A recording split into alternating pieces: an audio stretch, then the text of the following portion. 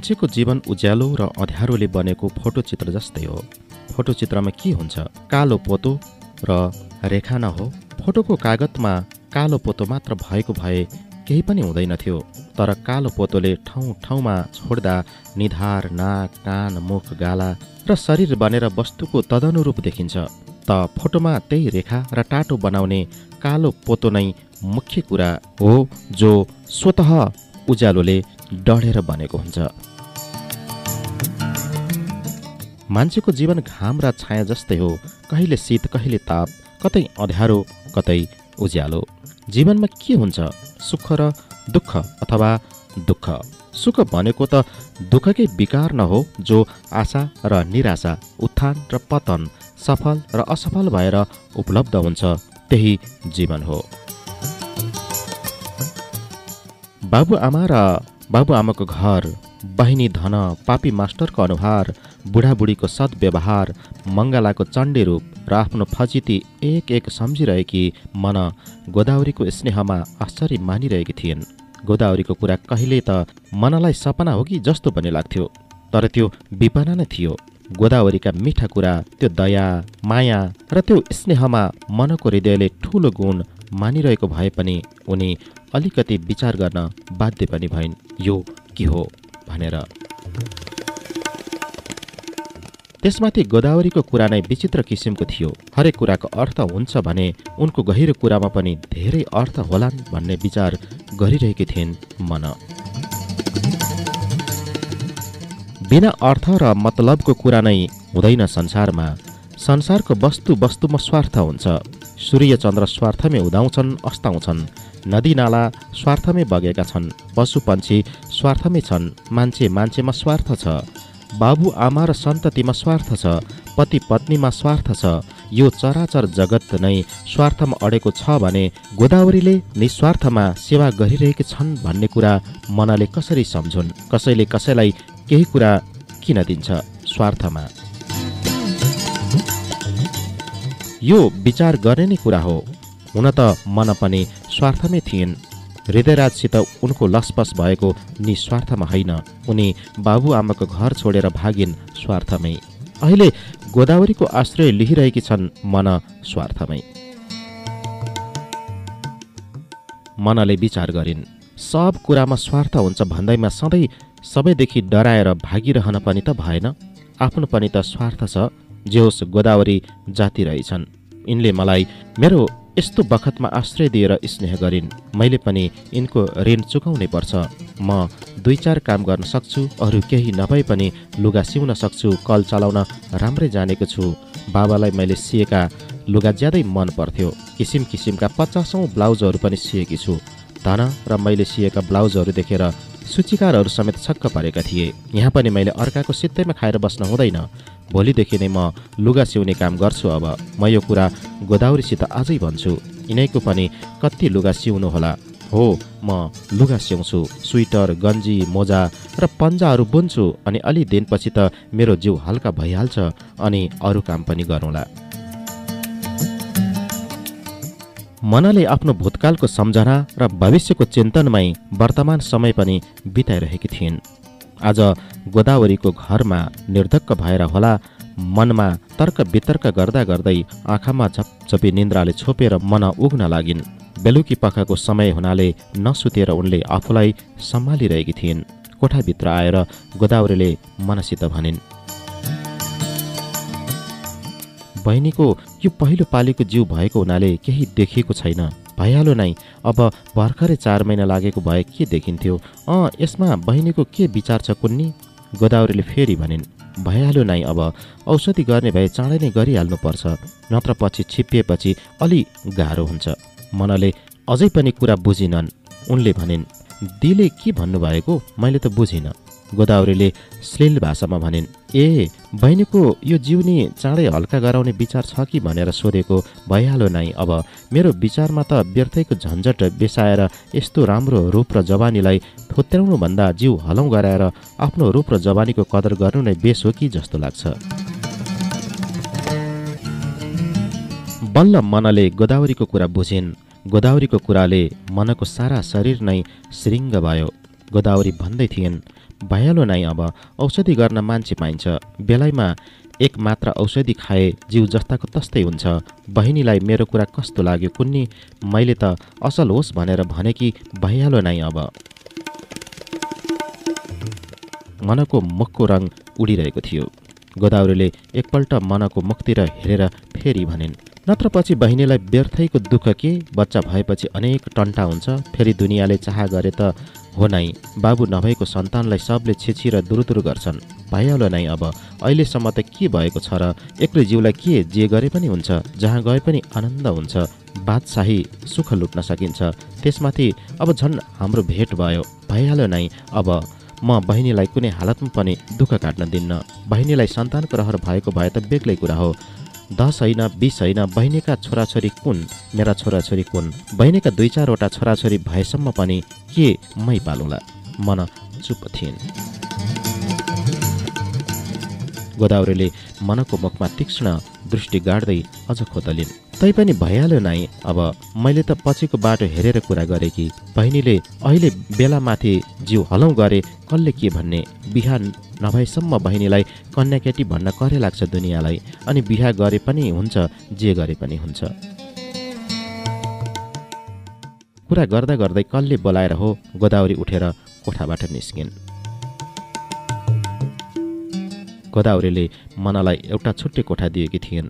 कोठा सफा सुग्घरको साथै चाहिँदो माल सामानले सजिएको थियो। बेलुकाको खानपिन सिद्धिएपछि मना कोठामा बसिरहेकी थिइन्। गोदावरीका एक एकको कुराहरू उनको मस्तिष्कमा खेलिरहेका थिए। उनी त्यसमा गहिरिएर विचार गर्नै पाउँदैनथिन् फेरि गोदावरीको आगमनले उनको विचार भङ्ग गरिदिन्थ्यो। गोदावरी आएर कहिले के भन्थिन् कहिले के भन्थिन्। मनको दृष्टिमा गोदावरी निकै चुलबुले देखेकी थिइन्। उनको कुराले मनको एकाग्रतालाई निकै खलबलाएको थियो। उनको मस्तिष्कमा कुरा खेल्थ्यो। गोदावरीको कुरा ठिक हो। मास्टरले मलाई धोका दियो। अब उसको सन्तानलाई जन्माएर म के गरौँ? यो जन्मेपछि झन् मैले जहाँ गए पनि रातो मुख लगाउनै पर्नेछ। मैले त्यसलाई कसको सन्तान भन्ने? जहाँ गए पनि यसले मेरो बाटो छेक्नेछ। दुनियाँले मलाई कलङ्किनी भनेर थुक्नेछ। सायद मेरो पेटमा मास्टरको गर्भ नभएको भए बिहाको दिनमा नभागे पनि हुन्थ्यो। मन फेरि आफ्नो विचारले आफै तर्सन्थिन् उनको अर्को मन बोल्थ्यो ओहो मैले के विचार गरेँ यस्तो? यो मेरो कुकर्मको प्रायश्चित हो अथवा आफ्नो कर्मको फल? आफ्नो कर्मको प्रायश्चितको निमित्त बिहाको राति बाजा बजिरहेको रनहामा बा आमाको घरबाट भाग्नु नै मैले उचित देखेँ भागेँ। मैले आफ्नो अपराधको सजाय आफैले रोजेँ यही ठिक छ। एकपल्ट अन्जानमा भुलमा धोकामा अथवा आफ्नै कमजोरीमा अपराध भयो भन्दैमा अपराधमाथि अपराध गरेर के म जीवनभर अपराधकै समुद्रमा डुबौँ? मलाई मास्टरले धोका दियो भन्दैमा यो गर्भको बालकले के बिराएको छ र यसलाई तुहाएर म फेरि भ्रूण घाती नै भनौँ किन मलाई गोदावरीले यस्तो सल्लाह दियो कि? अह म आफ्नो स्वार्थमा भ्रूण हत्या गर्दिनँ। सबै आमाले यस्तो गरे संसार शून्य हुन्थ्यो। जन्मोस् न यो जन्मोस्। जन्मोस् संसारमा। यो कसरी बिना बाबुको यो हृदयराजको गर्भ हो? यो जन्मेपछि पनि यसको बाबु हृदयराज हो भनेर औँलाइदिन्छु। के म संसारको अगाडि? अनि कसरी त्यो बाबुको ठेगान नभएको हुन्छ? म खान्न खान्न त्यो औषधि। औषधि विष पो त मान्छे पनि गजबेका छन्। विषलाई औषधि भन्छन्। औषधिलाई विष गोदावरीको कुरामा अवश्य कुनै मतलब छ। यिनको नियत ठिक छैन नत्र के सल्लाह दिएके त मलाई यस्तो? उमेर र रूप भएपछि संसारका लोग्ने मान्छेलाई दास बनाउन सकिन्छ अरे म बिहा गरिदिउँला रे फेरि जवानीको कदर गर्ने भनेको के हो? अनि फेरि यस्तो कुरा? मलाई यिनले के सम्झिन्? यिनलाई मेरो रूप र जवानीको किन चासो? मेरो रूप र जवानीमाथि यिनको कुनै दाउ त छैन? यिनको जरुर कुनै मतलब छ। यिनको चालामाला ठिक देखिँदैन म बस्दिनँ यिनको घरमा बस्दिनँ। मन फेरि आफ्नो विचारले आफै झस्किन्। उनको विचारले हाँगा हाल्यो। म यहीँ बसिरहेँ भने बा आमालाई पनि मेरो पत्ता लाग्न सक्छ। किनभने धाई बुढीलाई उनीहरूले केरेपछि बुढीले कुरा नखुस्काउलिन् भन्नु पर्दैन। बा आमाले पनि बुढीलाई नकेर्ने कुरै छैन। बा आमालाई म यहाँ आएको कुरा थाहा भएपछि उनीहरू मलाई लिन आउनेछन्। मलाई फेरि अर्को मुस्किल पर्नेछ। त्यसैले मैले यहाँ बस्नु हुँदैन। एकछिन पनि बस्नु हुँदैन। म जान्छु आजै जान्छु अहिले नै निस्किन्छु यताबाट। तर कहाँ जाउँ? म हे स्वर साँझ परिसक्यो। यत्रो संसारमा मेरो कतै पनि आधार छैन। मन ज्यादै व्यग्र भइरहेकी थिइन्। जति जति बेला घड्काँदै थियो उति उति उनी अधीर भएर छटपटिरहेकी थिइन्। उनको मुटु जोडले उफ्रिरहेको थियो। ढुक ढुक गोदावरीले बराबर मनको कोठामा आएर एक एक थोक कुरा गर्दै उनको निगरानी लिइरहेकोले मनलाई गोदावरीको घरबाट निस्कने अवसर पनि परेको थिएन। गोदावरीले कोठाभित्र पसेर मनको मुखमा दृष्टि गाड्दै भनिन् भइहाल्यो नै अब बहिनीको कत्रो भाग्य आज यहाँ एकजना ठुला मान्छे पनि आउने भएका छन् गोदावरीको कुराले मनको छाती ढक्क फुल्यो। गोदावरीको मान्छे कति ठुलो होला भैँसी जत्रै साँडे जत्रै हात्ती जत्रै या कुनै डिस्को या पहाड जत्रै। मनले कल्पना नै गर्न सकेकी थिएनन्। उनलाई गोदावरीले सोधिन् को मान्छे होला त लौ बहिनी? मनको मस्तिष्क चक्कराइरहेको थियो। उनले गोदावरीको कुराको कुनै जवाफ दिएनन् न सुनेर हो या सुनेर बुझेर हो या नबुझेर। मनबाट आफ्नो प्रश्नको कुनै उपयुक्त उत्तर नपाउँदा गोदावरी पनि अलिकति अधीर जस्ती भइन्। उनले फेरि सोधिन् हँ बहिनी मनले केही विचारै नगरेर भनिन् को होला को? म के जानु? मनको कानैनिर मुख लगेर गोदावरीले के हो फुसफुसाइन् गोदावरीको कुराले मनको सातो नै गयो। बल्ल उनले गोदावरीको सक्कली रूप देखिन्। उनको मतलब थाहा पाइन् उनलाई ठुलो पश्चाताप भयो। उनी अब त्यहाँ पलभरको निमित्त पनि टिक्न डराइरहेकी थिइन्। गोदावरीको त्यो आश्रयबाट मुक्ति पाउन उनको आत्मा छटबाटे थियो। गोदावरी आफ्नै विचारधारामा मस्त थिइन्। उनले भनिन् मन पर्यो भने अब बहिनीको भाग्य खुल्यो। यस्तो सुनको मूर्ति कसलाई मन नपर्ला भइहाल्यो नै अब बहिनीले जसरी भए पनि खुसी पार्नुपर्छ। मनले आफ्नो मनलाई सकेसम्म दृढ गराएर केही बोलेकी थिएनन्। यता र उताबाट दबेको स्वरमा सुनियो सवारी भो ए सवारी भो।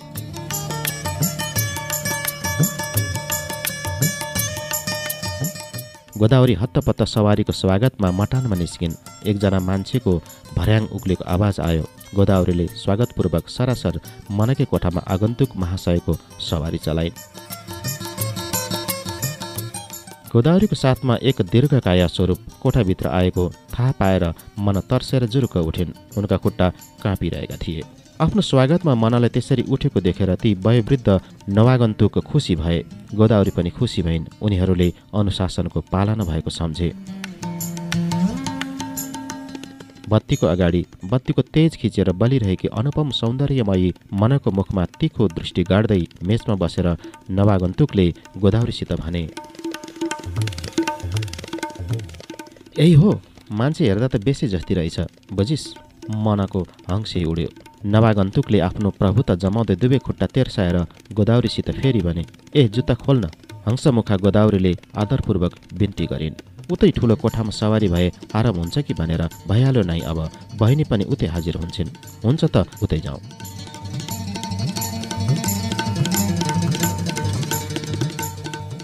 नव आगन्तुक मेचबाट उठेर मनालाई लोभी आँखाले हेर्दै कोठाबाट निस्के गोदावरी उनीको पछि लागिन्। उनलाई नव आगन्तुकसित केही भन्नु थियो जस्तै थियो। गोदावरीको सजी सजाउ कोठामा पुगेर नव आगन्तुक पलङमा बसे। गोदावरी खुसी मनले नव आगन्तुकको जुत्ता र कोट फुकाल्न हस्याङ फस्याङ गर्दै थिइन्। उनले भनिन् भइहाल्यो नै अब आज त पाउमा सुनकी चरी नै छोपेर हाजिर गराएकी छु। उता मन पनि नव आगन्तुक र गोदावरी ठुलो कोठामा पस्ने बित्तिकै कोठाबाट बाहिर निस्केर भर्याङ ओर्लिन्। तल दलान र चोकमा एक दुईजना मान्छेहरू बसेर कुरा गरिरहेका भए पनि मन स्वाट्ट निस्केको उनीहरूले यादै गरेनन् अथवा मन भागेको कुराको उनीहरूलाई शङ्का नै भएन। त्यो अध्यारोमा मन सासै नफेरेर खेतै खेत बाटो अबाटोको प्रवाह नगरेर धोबी खोलातिर हानिन्। उनी धोबी खोलातिर हानिएको कुरा उनीहरूले पनि थाहा थिएन। यता नव आगन्तुकलाई कोठामा राखेर मनलाई लिन आएकी गोदावरी कोठामा मनलाई नदेख्दा एकदमसँग निस्सासेर कराइन् बहिनी ए बहिनी ए खै ह कता गई कता गई? गोदावरीले घरभरि मनको खोजी गरिन्। तलका मान्छेहरूसित सोधिन्। मान्छेहरूलाई दौडाएर बाहिर बाटोतिर हेर्न पठाइन्। बगैँचातिर हेरिन्। दौडिएर गएका मान्छेहरू त्यसै फर्के। आगन्तुक महोदय पनि जिल्ल परे। त्यो रूप त्यो छटा त्यो कान्ति उनले बिर्सन सकेनन्। उनी गोदावरीसित खुब जङ्गिए गोदावरी चुप थिइन्। रात धेरै व्यतीत भइसकेको थियो। मन कता भागी कता गोदावरी चुकचुकै रहेकी थिइन्। आगन्तुक महोदय गोदावरीसित जतिसुकै जङ्गे पनि गोदावरीको कुरामा उनी फेरि मोह भएर बसीभूत भए। अनि अनि पिण्ड स्थाने पिण्ड भयो दीप स्थाने दिप।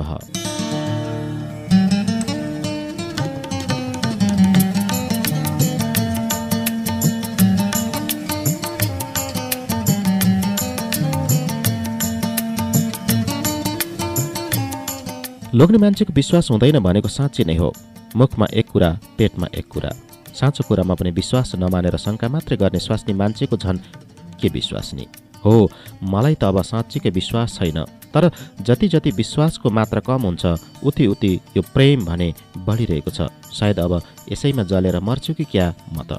अरे तिमी किन यस्तो कुरा गर्छौ?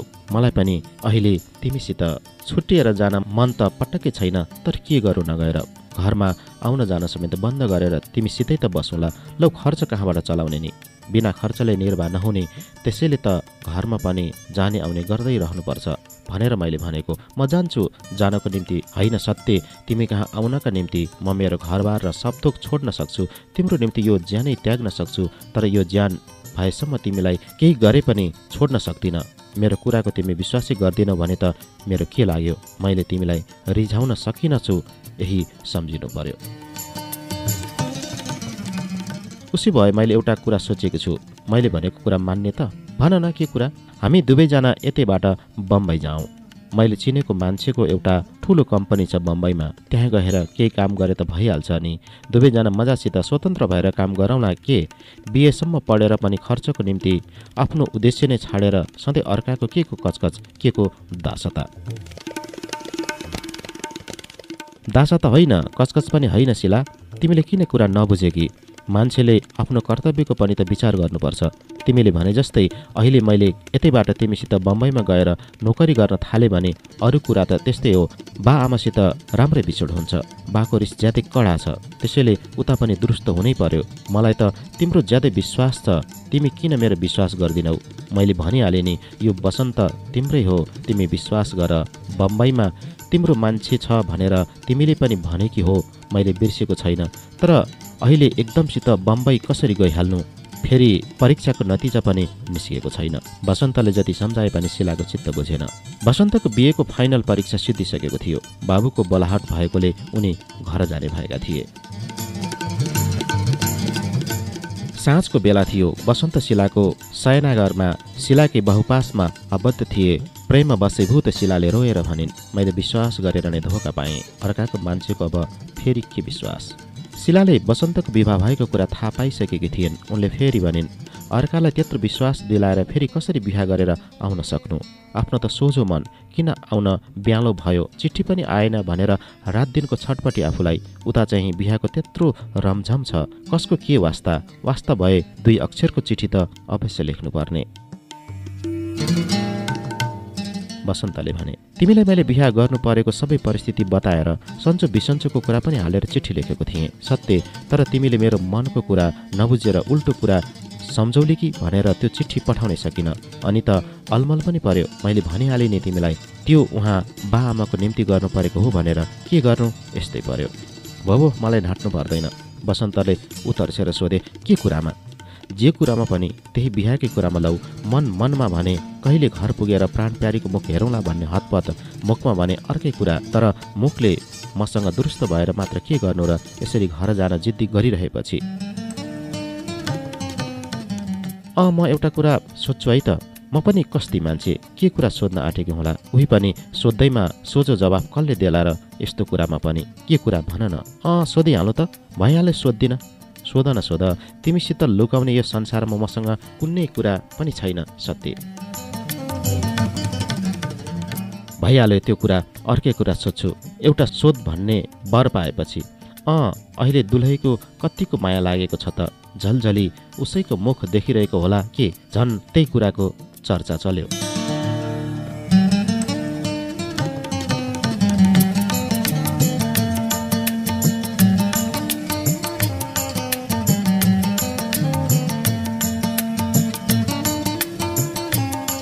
तिमी मेरो विश्वासै लाग्दैन भन्छौ म के भनौँ? मेरो छातीभित्र माया बस्ने ठाउँमा तिम्रो मायाले नै आसन जमाइसकेको हुनाले अरूको मायाको यसमा स्थान नै छैन। छाती चिरेर देखाउन सक्ने भए म तिमीलाई देखाइदिन्थेँ। तर के गर्नु र हनुमान हुन सकिएन? मैले केवल मेरा पिता माताको आज्ञा पालन गरेँ। बस मेरो दोष भन्छौ भने यति हो। कठपुतली जस्तो बनेर अर्काको स्वार्थमा एक दिन दुल्हाको पाठ लिएर मैले नाटक खेलेको मात्रै हुँ।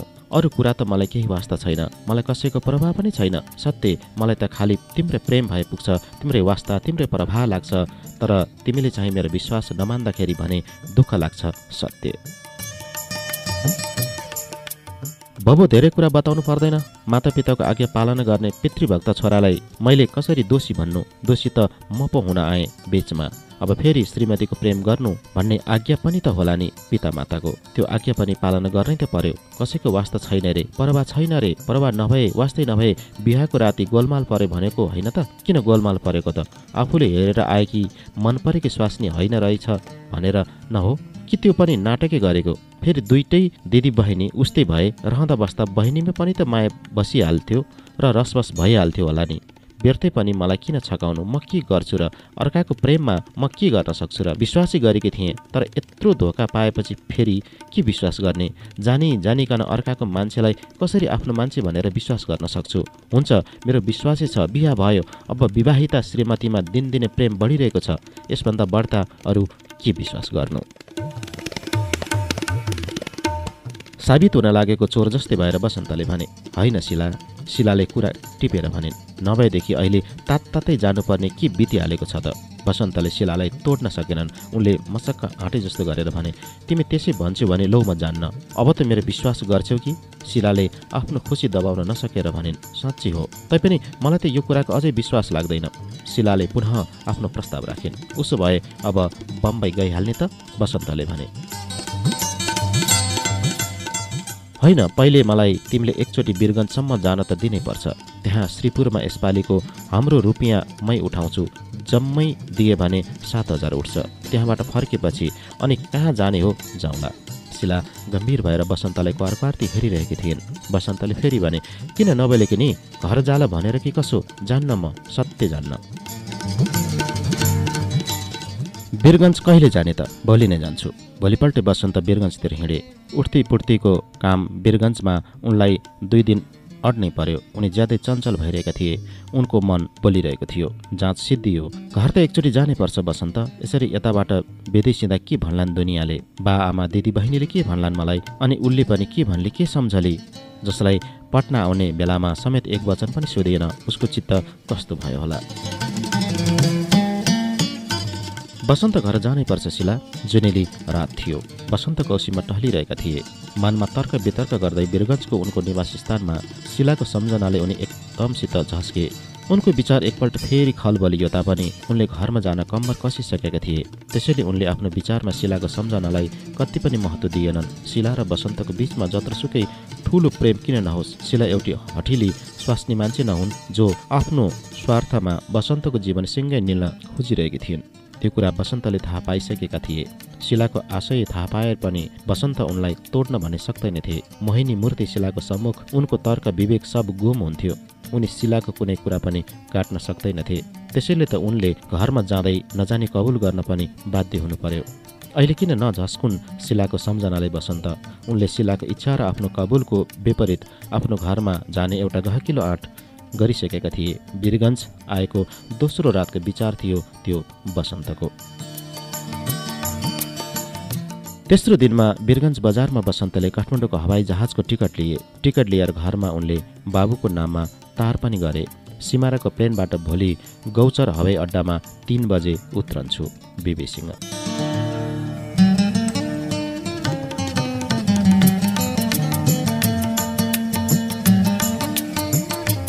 छोरो बिरामी भएको थाहा पाएर मधुका पिता हामफाल्दै आएका थिए घरमा। गुणी र लायक सुन्दर र सुचतुर आफ्नो एकमात्र छोराको हालतमा उनको हृदय ज्यादै विफल भयो।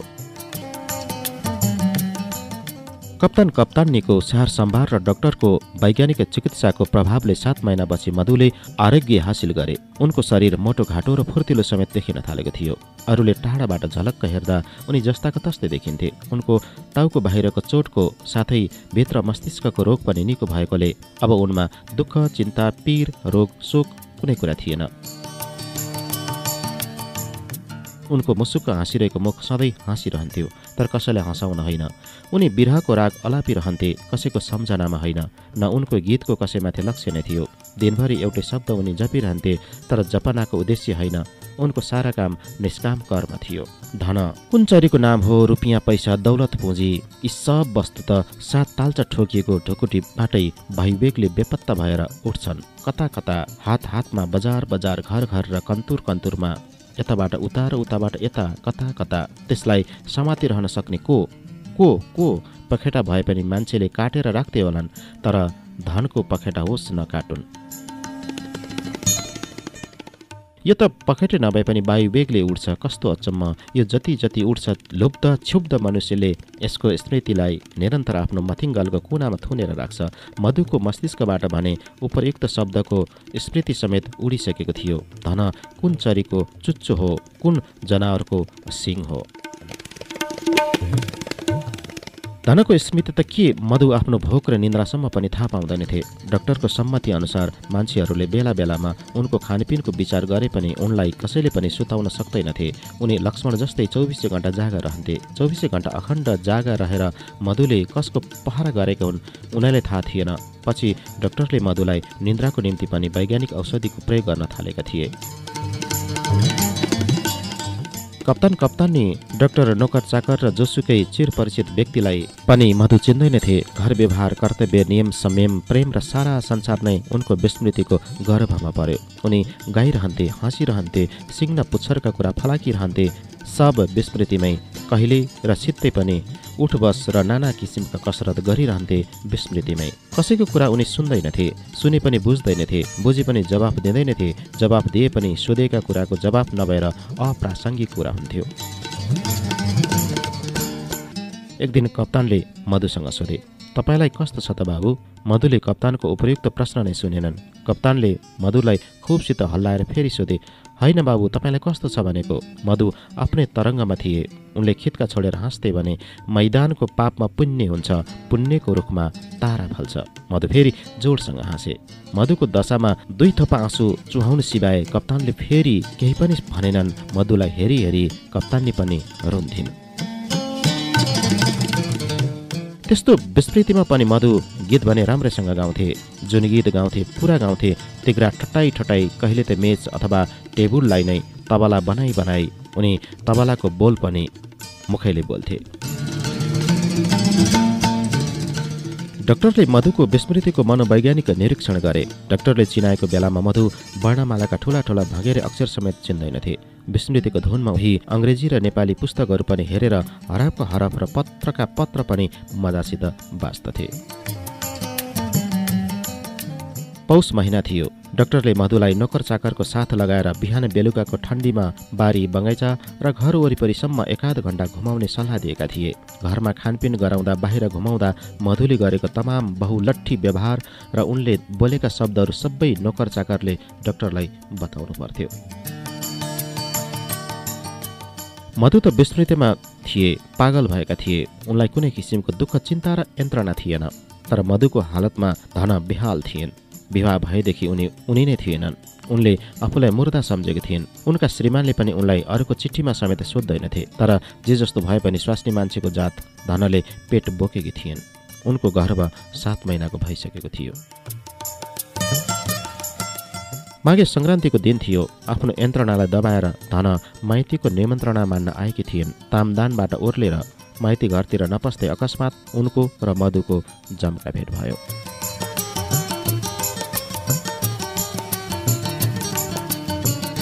मधुले धनलाई देखेर एकदमसित उत्तर्सेको भावले हेरे र उनी यसरी भागे जसरी हिंस्रक जन्तुलाई देखेर मृग भाग्दछ। धन ठिङ्ग उभिएर मधुलाई हेरिरहेकी थिइन्। फेरि केही बिर्सेर गएको छाँटले मधु दौडेर नै धनको अगाडि आएर उनलाई टाउकोदेखि खुट्टासम्म र खुट्टादेखि टाउकोसम्म खुब गडी गढिकन हेर्न थाले। धनको शरीर र मुखमा अक्षरका हरप भएर ती अक्षर पढे जस्तै गरी गरी अथवा कुनै कुनै वस्तुको निरीक्षण गरे जस्तै अथवा धनको मुखमा नै चलचित्र देखे जस्तै मधुको चालमा धन पनि के के विचार गर्दै जिल्ल परेर ट्वाल्ल हेरिरहेकी थिइन्। उनले मधुको त्यो व्यवहारमा कुनै किसिमको बाधा गरिनन्। मधुको कुएत्रो लागेको कमिज उडेको अनुहार रुखको कपाल देखेर धनको हृदय विचलित भएर छटपटाइरहेको थियो। मधुको अनुहार हेर्दा धनको मुखको निरीक्षण गर्दा गर्दै मधुको टाउकोमा स्मृति र विस्मृतिको द्वन्द्व युद्ध परिरहेको जस्तो देखिन्थ्यो। मधुले केही सम्झन खोजेको जस्तो भाव देखिन्थ्यो। उनको टाउकोमा ठुलो कष्ट भइरहेको जस्तो पनि देखिन्थ्यो। मधुले एकपल्ट ठुलो स्वरले कराएर बोलाए धन प्रतिध्वनित भयो। धन धन बोल्नै पाएकी थिएनन्। उनको कर्तव्य डगमगाइरहेको थियो। मधु बतासले ढालेको रुख जस्तै भएर एकदमसित भुइँमा पछारिए। दानापानी हड बढाएर एकहोरो स्वरले आतसमै कराइन् मधु मेरो मधु काजी यताउताबाट मधुका रक्षकहरू दौडेर आउँदै थिए घरभित्रबाट कप्तान कप्तानी र अरू मान्छेहरू पनि दौडा दौड गरेर आए। धन आफ्नो भयभरको बल लगाएर मधुलाई उठाउन खोज्दै अत्तासिएर कराइरहेकी थिइन् लौ न लौ न मधुकाजीलाई के भयो लौ न? मधु मुर्छा परिरहेका थिए। उनलाई धेरै मान्छेहरूले एक सासमा उठाएर उनकै घरतिर लगे। कप्तान कप्तानी पनि उतैतिर लागे। मधुलाई पुर्याउने मान्छेहरू मधुको घरतिर लागेपछि धनलाई पनि त्यहाँ टिक्न ज्यादै मुस्किल भइरहेको थियो। उनलाई भाउन्न भइरहेको थियो। उनका खुट्टा काँपिरहेका थिए। आँखाले देखुन्जेलसम्म त उनले आफ्नो यन्त्रणालाई दबाएर मान्छेहरूले मधुलाई लगेको हेरिरहेकी थिइन्। उनलाई असह्य पीडा भइरहेको थियो। उनलाई त्यहीँ बसौँ बसौँ जस्तो लाग्यो। सकि नसकी बाबुआमाको घरभित्र पसेर दारा किट्दै डडाल्नीको भर गरेर उनी भर्याङ उक्लिन्। उनलाई झम्म छोपिरहेको थियो। कसैले देखेन उनी बेहोस भएर मटाइनमा लडिन्। उनको उक्सेको पेट मात्र खलाती जस्तै चलिरहेको थियो। डाक्टर छिमेकी जस्तै नजिकका कप्तान घर परिवार र मधुका परिचित थिए। मधुको सारा रिपोर्ट सुनेर डाक्टरले गौर गरे धन मधुको सम्पर्कमा रहे मधुलाई पूर्व स्मृति भएर यिनी सध्य हुन सक्छन्। औषधिको प्रयोगले मधु मूर्छाबाट ब्याउँची पनि उनले टाउको उठाउन सकेका थिएनन्। उनलाई के के सम्झिए जस्तो के के बिर्सिए जस्तो लागिरहेको थियो उनी लडिरहेका थिए। डाक्टरले मधुका पिता र कप्तान साहेबसित भने अब मधुकाजी सध्य हुन सक्नुहुन्छ। सब खुसी भए। घरमा आएर धनको अवस्थामा कप्तान कप्तानीको हृदय फेरि बज्र पर्यो। डाक्टरले धनको रोगको जाँच गरेर औषधि गरे। उनले कप्तान कप्तानीलाई सम्झाएर भने नरुनुहोस् तपाईँहरू एकछिनपछि बिरामीको मुर्छा खुल्छ। बरु नर्सहरूलाई पनि बोलाउन पठाउनुहोस्। अब यिनको बच्चा अड्दैन।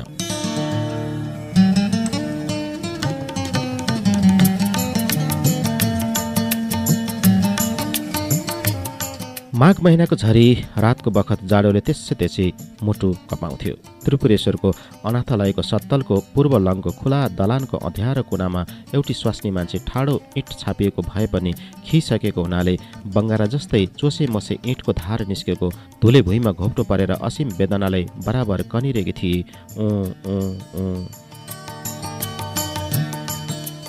त्यो स्वास्नी मान्छेका बान्धव जस्तै भएर त्यही दलानमा एकात भुस्या कुकुरहरू गुणुल्किएर सुतिरहेका थिए। बागमतीको चिसो सिरोटेले मुटु छेडेर होला ती कुकुरहरू पनि काँप्दै बराबर कुइँ कुइँ गरेर कराउँथे। ती कुकुरहरू र त्यो स्वास्नी मान्छेमा त्यस्तो फरक थिएन जस्तो थियो। कुकुरहरूको आङमा लुतोले रौँ खुइलिएर ठाउँ ठाउँमा टाटा परेका थिए। त्यस्तै त्यो स्वास्नी मान्छेको लुगा पनि ठाउँ ठाउँमा फाटेको हुनाले नाङ्गो आङ देखिन्थ्यो। कुकुर पनि बेवारिस स्वास्नी मानिस पनि बेवारिस। एउटी कुकुरनीलाई त छाउरा पाउने व्यथा लागिरहेको थियो। त्यसैले ऊ कनिरहेकी थिए। तर त्यो स्वास्नी मान्छे त्यसको पनि त्यही व्यथा हो कि जस्तो भए पनि लुतुले जम्मै रौँ छरिसकेका भए पनि कुकुर्नीको डाँगो साथमै थियो। स्वास्नी मान्छेको भने कोही पनि थिएन। कस्तो बेइमानी। कस्तो बेइमानी हुन्छ नि मान्छेको जात। कुकुरहरू दिउँसो रछान कुरेर यताउति फालिएका पातका रित्ता टपरी चाटेर बागमतीको किनारामा पडिरहेका नाङ्गा हाड टोकेर भए पनि बास बसेका थिए तर त्यो स्वास्नी मान्छे चाहिँ पुण्य है। चारैतिर एकदम सन्नाटा थियो निष्पट्ट अन्धकार थियो माघे झरी परिरहेको थियो सिरेटोले मुटु छेडिरहेको थियो कुकुरहरू चुइकिरहेका थिए सत्तलको दलानको कुनामा स्वास्नी मान्छे कनिरहेकी थिए। दलानको बाहिर पेटमुनि थामको आडमा दुई तिनजना मानिसहरूले साउती गरेको साजको शब्द सुनियो। कुकुरहरू न्यार गर्दा एकपल्ट टाउको उठाएर चुप लागे। ती कुकुरहरू चुप लागेको भुक्ने शक्ति बिल्कुलै नभएर हो वा ती साउती गर्ने मानिसहरूलाई चिनेर हो बुझिएन। साउतीको फुसफुसाहट शब्दको साथ मादक वस्तुको चर्को गन्ध पनि उडिरहेको थियो। जुन गन्धपूर्ण मादक पदार्थको सेवन गरेर ती मानिसहरू त्यस्तो जाडोमा पनि त्यसरी तातो भएर हिँडिरहेका थिए। ती मानिसहरूमध्ये एकजनाले बिस्तारै गुनगुनाएर भनेको सुनियो लैजान त तँलाई मन परेको भए। अर्कोले भन्यो कसले लग्ने? यो भीमेले? लग्लास भीमे तैँले? तेरि त छँदैछ नि। डल्लीमाई बरु मै लैजान्छु। फेरि उही पहिरोले गुनगुनाएर सोध्यो भीमे दिउँसेदेखि कुरिरहेको छ। असाध्य राम्री छ। होइन कताबाट आइछ? भीमेले बतायो। खै आउन त कताबाट आएकी हो? मूल सडकको डेउडीबाट यतातिर दौडेर आई। त्यही साढे पाँच बजेको हुँदो हो अनि त्यो ढोका बाहिर लडी पनि। त्यहीँ बसिरहेकी थिए। कुन बेला यहाँ पछि छ म त बागमतीतिर पो खोज्न गएँ। मैले अघि नै भनिहालेँ नि मान्छे काइदागी छ तर बिरामी जस्तै छ। हेर न ऊ कनिरहेकी। हामी आएको पनि यसलाई पत्तै छैन। पहिरोले भन्यो नाकानतिर नि हेरिनस्। खै त्यो त केही पनि याद भएन। बडो हेरिछस् त लाल बुज्जकड। चाहिने कुरा छैन नचाहिने कुराको धन्दा। दोस्रोले भन्यो डल्ली माईको पैयो भीमगिरीको दाउ अर्कै छ बिरामी जस्ती छ। पनि आफै भन्छ कुरो भने कत्तिको हेर न आफू नजिक पर्न समेत नसकेर हामीलाई गुहार्यो। अहिले लैजान्छु भन्छ। अलिकति इन्साफको कुरा त गर्नुपर्छ जसको छैन उसले लाने।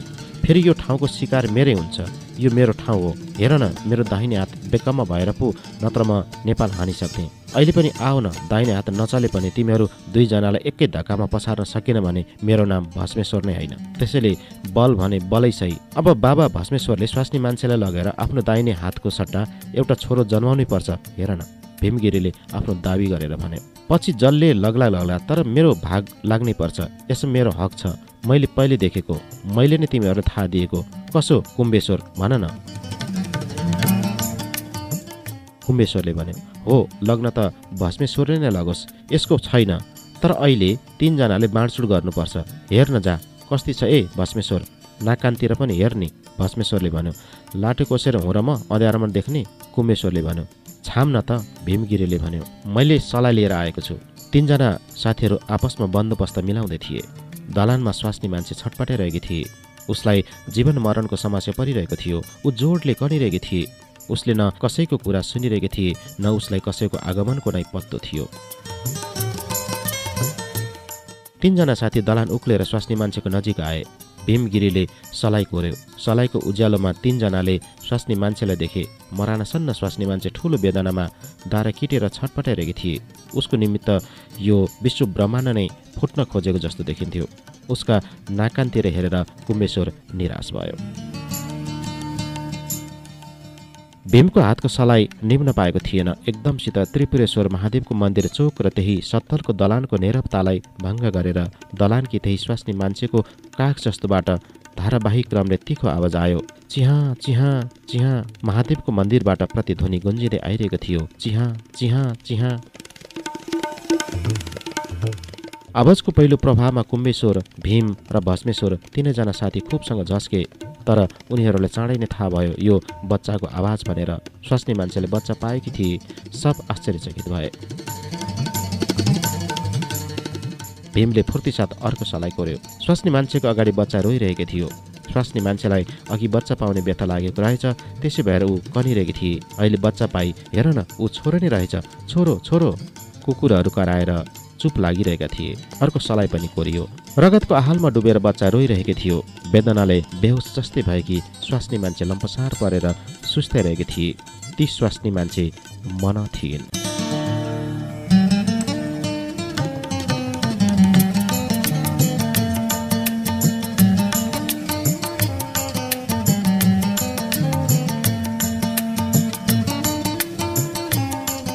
कुम्भेश्वर भस्मेश्वर र भीमगिरी एक स्वतन्त्र समाजका स्वतन्त्र मूर्तिहरू थिए। जन्मयोगी साधु महाराज गुरु महाराज महाराज सन्त सिद्ध बाबा उनीहरू जोगी थिए। उनीहरूलाई उति साह्रो सामाजिक बन्धन र डर नभए पनि आफ्नो पारिवारिक जीवनलाई संसारी समाजमा उनीहरू गोप्य राख्न खोज्दथे। बाबुआमा कुल कुटुम्ब लोग्ने स्वास्नी ज्वाइँ भानिज साला जेठान ससुराली घर र माइतीले परिपूर्ण नातागोता भएको उनीहरूको पारिवारिक जीवन व्यावहारिक जीवन जस्तै थियो। बिहानभर उनीहरू बगलमा बडे बडे झोली भेरेर हातमा खपहरू लिएर यत्र तत्र गाउँ सहर र गल्ली गल्लीमा सपरिवार नै छरिएर अलख जगाउँदै भिक्षाटन गरेर हिँड्थे झोली भर्थे उनीहरूको यो भिक्षाटनको खेतीमा अनिकाल कहिले पनि पर्दैनथ्यो। न यो खेतीमा उनीहरूलाई त्यस्तो परिश्रम नै गर्नु पर्थ्यो उनीहरूलाई जहिले पनि सहकाल थियो। कुकुर भोक्ने घर र भिक्षा दिन बेर गर्ने घरलाई भने उनीहरू श्राप दिन्थे। धेरै बेर कुर्नु पर्ला भनेर होला तुरुन्त दान महाकल्याण अलख भन्ने महामन्त्र पनि उनीहरू जगाउँथे। अलख जगाउँदै हिँड्दा जाने पनि नजाने पनि उनीहरूलाई हिन्दी बोल्नु पर्थ्यो गेरुवा वस्त्रसहित विशेष तवरले निधारमा खरानीको त्रिपुण्ड र गलामा रुद्राक्षमाला हातमा त्रिशूल र डमरू धारण गरेर हिँडेको बखतमा कतै उनीहरू महात्मा पनि भनिन्थे। ठुलो एकादशी जस्तो पर्व र त्यस्तै बेला बेलाका मेलामा उनीहरू दोबाटोमा अगल बगलमा त्रिशूल र चिम्टा गाडेर अगाडि रुमाल फैलाएर हातमा जपमाला लिएर पद्मासन कसेर तपस्या गर्दथे। च्याखे थाप्थे कुनै महात्मा बिहानभर अलग जगाएर हिँडे पनि दिउँसो खेतीपातीको काम र अरू व्यवसाय समेत गर्दथे। कसै कसैको घरबारै हुन्थ्यो। प्राय ती जोगी परिवारहरू नेपालका पचली त्रिपुरेश्वर पशुपति र ठाउँ ठाउँका देवस्थलका सत्तलहरूमा एकलौटी गर्दै आफ्ना कुल घर सम्झेर पुर्ख्यौली बिताउँथे। तिनीहरूका स्वास्नी मानिसहरूलाई माई माई आमा र गुरुमा भन्ने चलन थियो। एनकेन प्रकारले नयाँ नयाँ मोटा शिकारलाई मुड्न आफ्नो समाज बढाउनका लागि अथवा आफ्नो आफ्नो रोब जमाउनका लागि उनीहरू गुरु महाराज र गुरुमा बन्दथे। हर एक डफामा एकजना थकाली जस्तै एकजना गुरु महाराज अथवा एउटी गुरुमा हुन्थे अरू सबै शिष्य। दाजुभाइ छोराछोरी बुहारी ज्वाइँ भानिज किन नहुन्? सब शिष्य। एकजना गुरु महाराजका धेरै माईहरू पनि हुन्थे। राम्रा राम्रा युवती माईहरू जवानीको अवसर छोपेर जवानीको रोजगार गर्न पनि चुक्दैनथे। त्यसैले प्राय युवती माईहरूलाई भिक्षा मागेर हिँड्ने उत्तिको फुर्सद हुँदैनथ्यो। कुनै कुनै युवती माईहरू गृहस्थीसँग गएर आफ्नो भेष पनि छोड्दथे। कतै कतै बाबाजीहरूको समेत त्यही चाल थियो। कोही आफ्नो चाकरीले राजालाई रिझाएर बडे बडे जमिनदार मठाधीश अथवा महन्त महाराज भनेर भुँडी फर्काएर डकार्दै लम्पट हुन्थे। त कसै कसैले ठुल्ठुलो जागिर पनि खान्थे। कप्तान कर्नेल र यता सेक्रेटरीसम्म। उनीहरूको फेसन हेरेर यो फक्कड बाबाजी हो भन्न मुस्किल पर्छ। धनधान्यको भकारी लगाएर तिनीहरू आफ्नो बिहाबारी समेत छेत्री जातिसित गर्दछन् गृहस्थीकै रीतिरिवाजले। तर जतिसुकै धनी भए पनि उनीहरूलाई गाली गर्नेहरूले फुस्रा र जोगी भनेको सुनिन्छ। माछा मासु मध्य र किसिम किसिमका मादक वस्तु यिनीहरू जे पनि उपभोग गर्दछन् जे पनि सेवन गर्दछन् आजकल कति महन्त महाराजहरू मन्त्री बन्ने धुनमा हिँडेको पनि देखेको छ। सन्यास धर्मावलम्बी भएको हुनाले होला। उनीहरूको सम्प्रदायलाई सन्यासी भन्ने चलन छ। सन्यासी धेरै थरीका हुन्छन्। तीमध्ये नेपालमा विशेष गरेर गिरिपुरी भारतीय वन इत्यादि देखिन्छन्। तर सन्यास धर्म के हो? उपयुक्त सन्यासीहरू सन्यास धर्मानुसार रहन्थे त? भन्ने तर्कमा एक कुरामा धेरै सन्यासीहरूले सन्यास धर्म राखेको देखेको छ। त्यो हो जस्तो सुकै भेष बदलिरहे पनि टाउकोमा टुप्पी नराख्नु यसमा पनि जटाधारीको कुरा चाहिँ बेग्लै हो। कुनै कुनै सन्यासीले भने गृहस्थीलाई समेत जितेर मुठी भरभरको टुप्पी राखेर हिँडेको पनि देखिएको छ। अब टाउकोमा टुप्पी नहुने सन्यासी चाहिँ आजकल लुङ्गी अथवा पतलुन लगाएर घाँटीमा कण्ठ लुङ्गौटको फुर्का झुन्ड्याएर हिँडेको पनि निकै सुहाउँछ। ए अर्को कुरामा पनि सन्यासीहरूले सन्यास धर्मको पालना गरेको देखिएको छ तर त्यो मरेपछि मात्रै। कुरा के भने सन्यासीहरूले आगो छुनु हुँदैन रे। यो कुरा बाँचुन्जेल साध्य नभए पनि मरेपछि भने उनीहरूको लास नपोलेर गाड्ने चलन छ। कुम्बेश्वर भस्मेश्वर र भीमगिरी कुनै महन्त महाराज अथवा मठाधीश नभए पनि सन्यासी सम्प्रदायकै त्रिपुरेश्वरका महसुर त्रिमूर्ति थिए। बिहानभर उनीहरू नक्कली जटा लगाएर भिक्षाटन गर्दै झोली भर्थे दिनभर सुत्थे रातभर निशाचर भएर यत्र तत्र घुम्थे जुवाको अड्डा जमाउँथे भट्टीको सान राख्दै भगवतीको मान गर्थे यी त्रिमूर्तिहरू पनि चार खुट्टेमा खाट र उड्नेमा चङ्गा छोडेर अरू सबै थोक चपाउँथे सब थोक पचाउँथे। यिनीहरू के गर्दैनथे यो भन्न मुस्किल छ। भस्मेश्वर कुम्बेश्वरको सालो थियो भीमगिरी मामा। भीमगिरी र कुम्बेश्वरको अखाडा पचलीमा भए पनि भस्मेश्वरको सङ्गतमा उनीहरू त्रिपुरेश्वरमै विचरण गर्थे। भस्मेश्वरको निवास स्थान त्रिपुरेश्वरकै सत्तलको दक्षिण पश्चिम लङको कुनाको एउटा छिडीमा थियो। ऊ त्यहाँ एक्लै बस्थ्यो। भस्मेश्वर हृष्टपुष्ट भुस्तिग्रे र साँडे जस्तै बलियो र जोदा भए पनि राति बाली खान जाँदा किसानको नोल लागेर उसको दाहिने हात बेकाममा भएको थियो। उसको हात बेकाममा भए पनि उसित अरू दुवैजना दब थिए ऊ साथीहरूभन्दा विशेष खग्गु र छट्टु पनि थियो। नवजात शिशुसहित मनालाई त्यो हालतमा देखेर ती त्रिमूर्तिहरू जिल्लाराम परे। कुम्बेश्वर मनाका नाक कानतिर केही नदेखेर घाँटीतिर छाम्ने दाउमा थियो तर भस्मेश्वरले उसलाई त्यसो गर्न दिएन। उनीहरूले फेरि अलि वरतिर आएर साउती गरे। कुम्बेश्वरले भन्यो मान्छे त राम्री नै हो कहाँबाट यहाँ बच्चा पाउन आइछ? भीमगिरीले भन्यो होला कसैको गुप्ती पेट यहाँ आएर बिसाइ नै।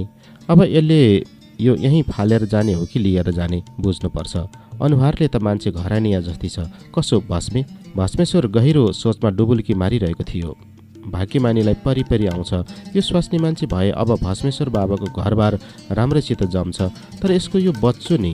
बच्चोले केही गर्दैन। जसको बच्चो पनि बच्चै हो। उदार चरितानाम तु वसुधैव कुटुम्बकम। बाबा भस्मेश्वरको छोराको रहर पुग्ने भनाइ अरूको भुकाई त्यसको पनि बुझो छ।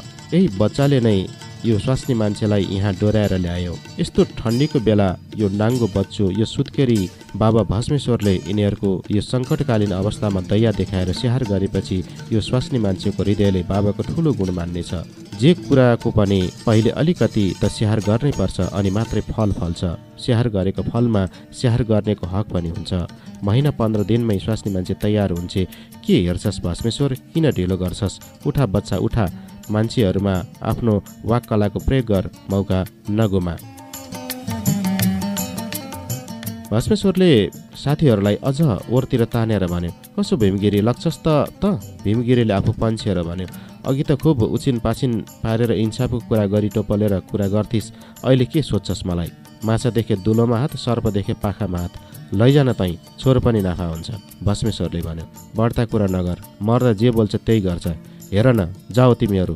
कुम्बेश्वरले आश्चर्य मानेर सोध्यो साँच्ची नै आर्टिस भस्मे? सुत्केरी पनि भन्दैनस्? भस्मेश्वरले कुम्बेश्वरको कानैतिर मुख लगेर आफ्नो हृदय खोल्यो। कुम्बेश्वरले भन्यो त्यसो गरे त हुन्छ नभए छँदैछ नि अनाथालय।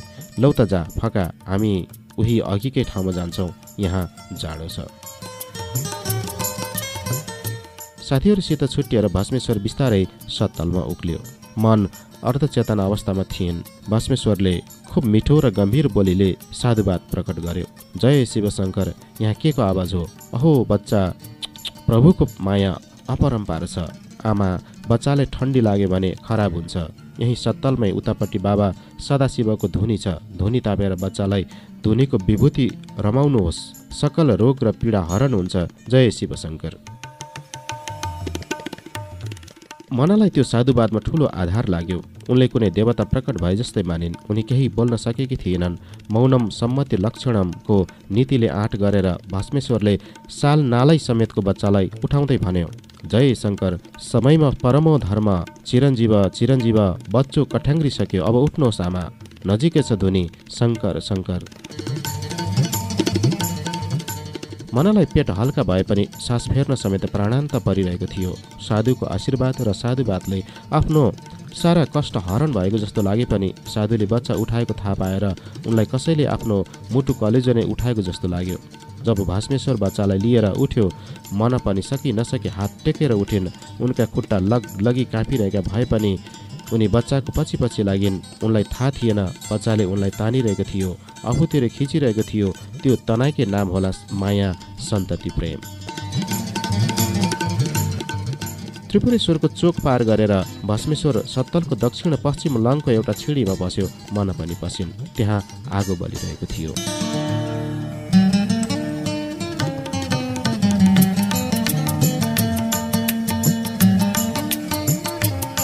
माघे सङ्क्रान्तिको दिन बेलुकी पख सात महिनैमा धनले छोरो पाइन्। कप्तान कप्तानी नातिको मुख देख्न पाएर ज्यादै खुसी भएका थिए तर धन उठ्न सकिनन्। माइतीको माइतीमै उनी नराम्रोसित थला परिन्। उता मधु अर्ध विस्मृतिमा थिए। डाक्टरलाई धनको अस्वस्थताले हड बढाउनु परेको थियो कारण धनलाई मधुको सम्पर्कमा राखेर उनको मस्तिष्कमा पूर्व स्मृति गराउने दाउ गरेका थिए डाक्टरले। अझ धनको मुखबाट उनको प्रेम कथा नै सुनाउन लाउने विचार थियो डाक्टरको तर धन आफै नराम्रोसित ढलिन् सिकिस्त नै भइन्। एकपल्ट त उनको निम्ति डाक्टरले समेत हरेस खानु पर्यो। सब निराश भएर धनलाई घाटमा लाने बन्दोबस्त समेत गर्दै चोकमा पनि सारिसकेका थिए। रुवाबासी चल्यो। धनलाई हेर्न सासु ससुरा नन्द धनको माइतीमा आइरहन्थे। उनीहरूले समेत धनको आशा मारिसकेका थिए तर धन आफै बौरिन्।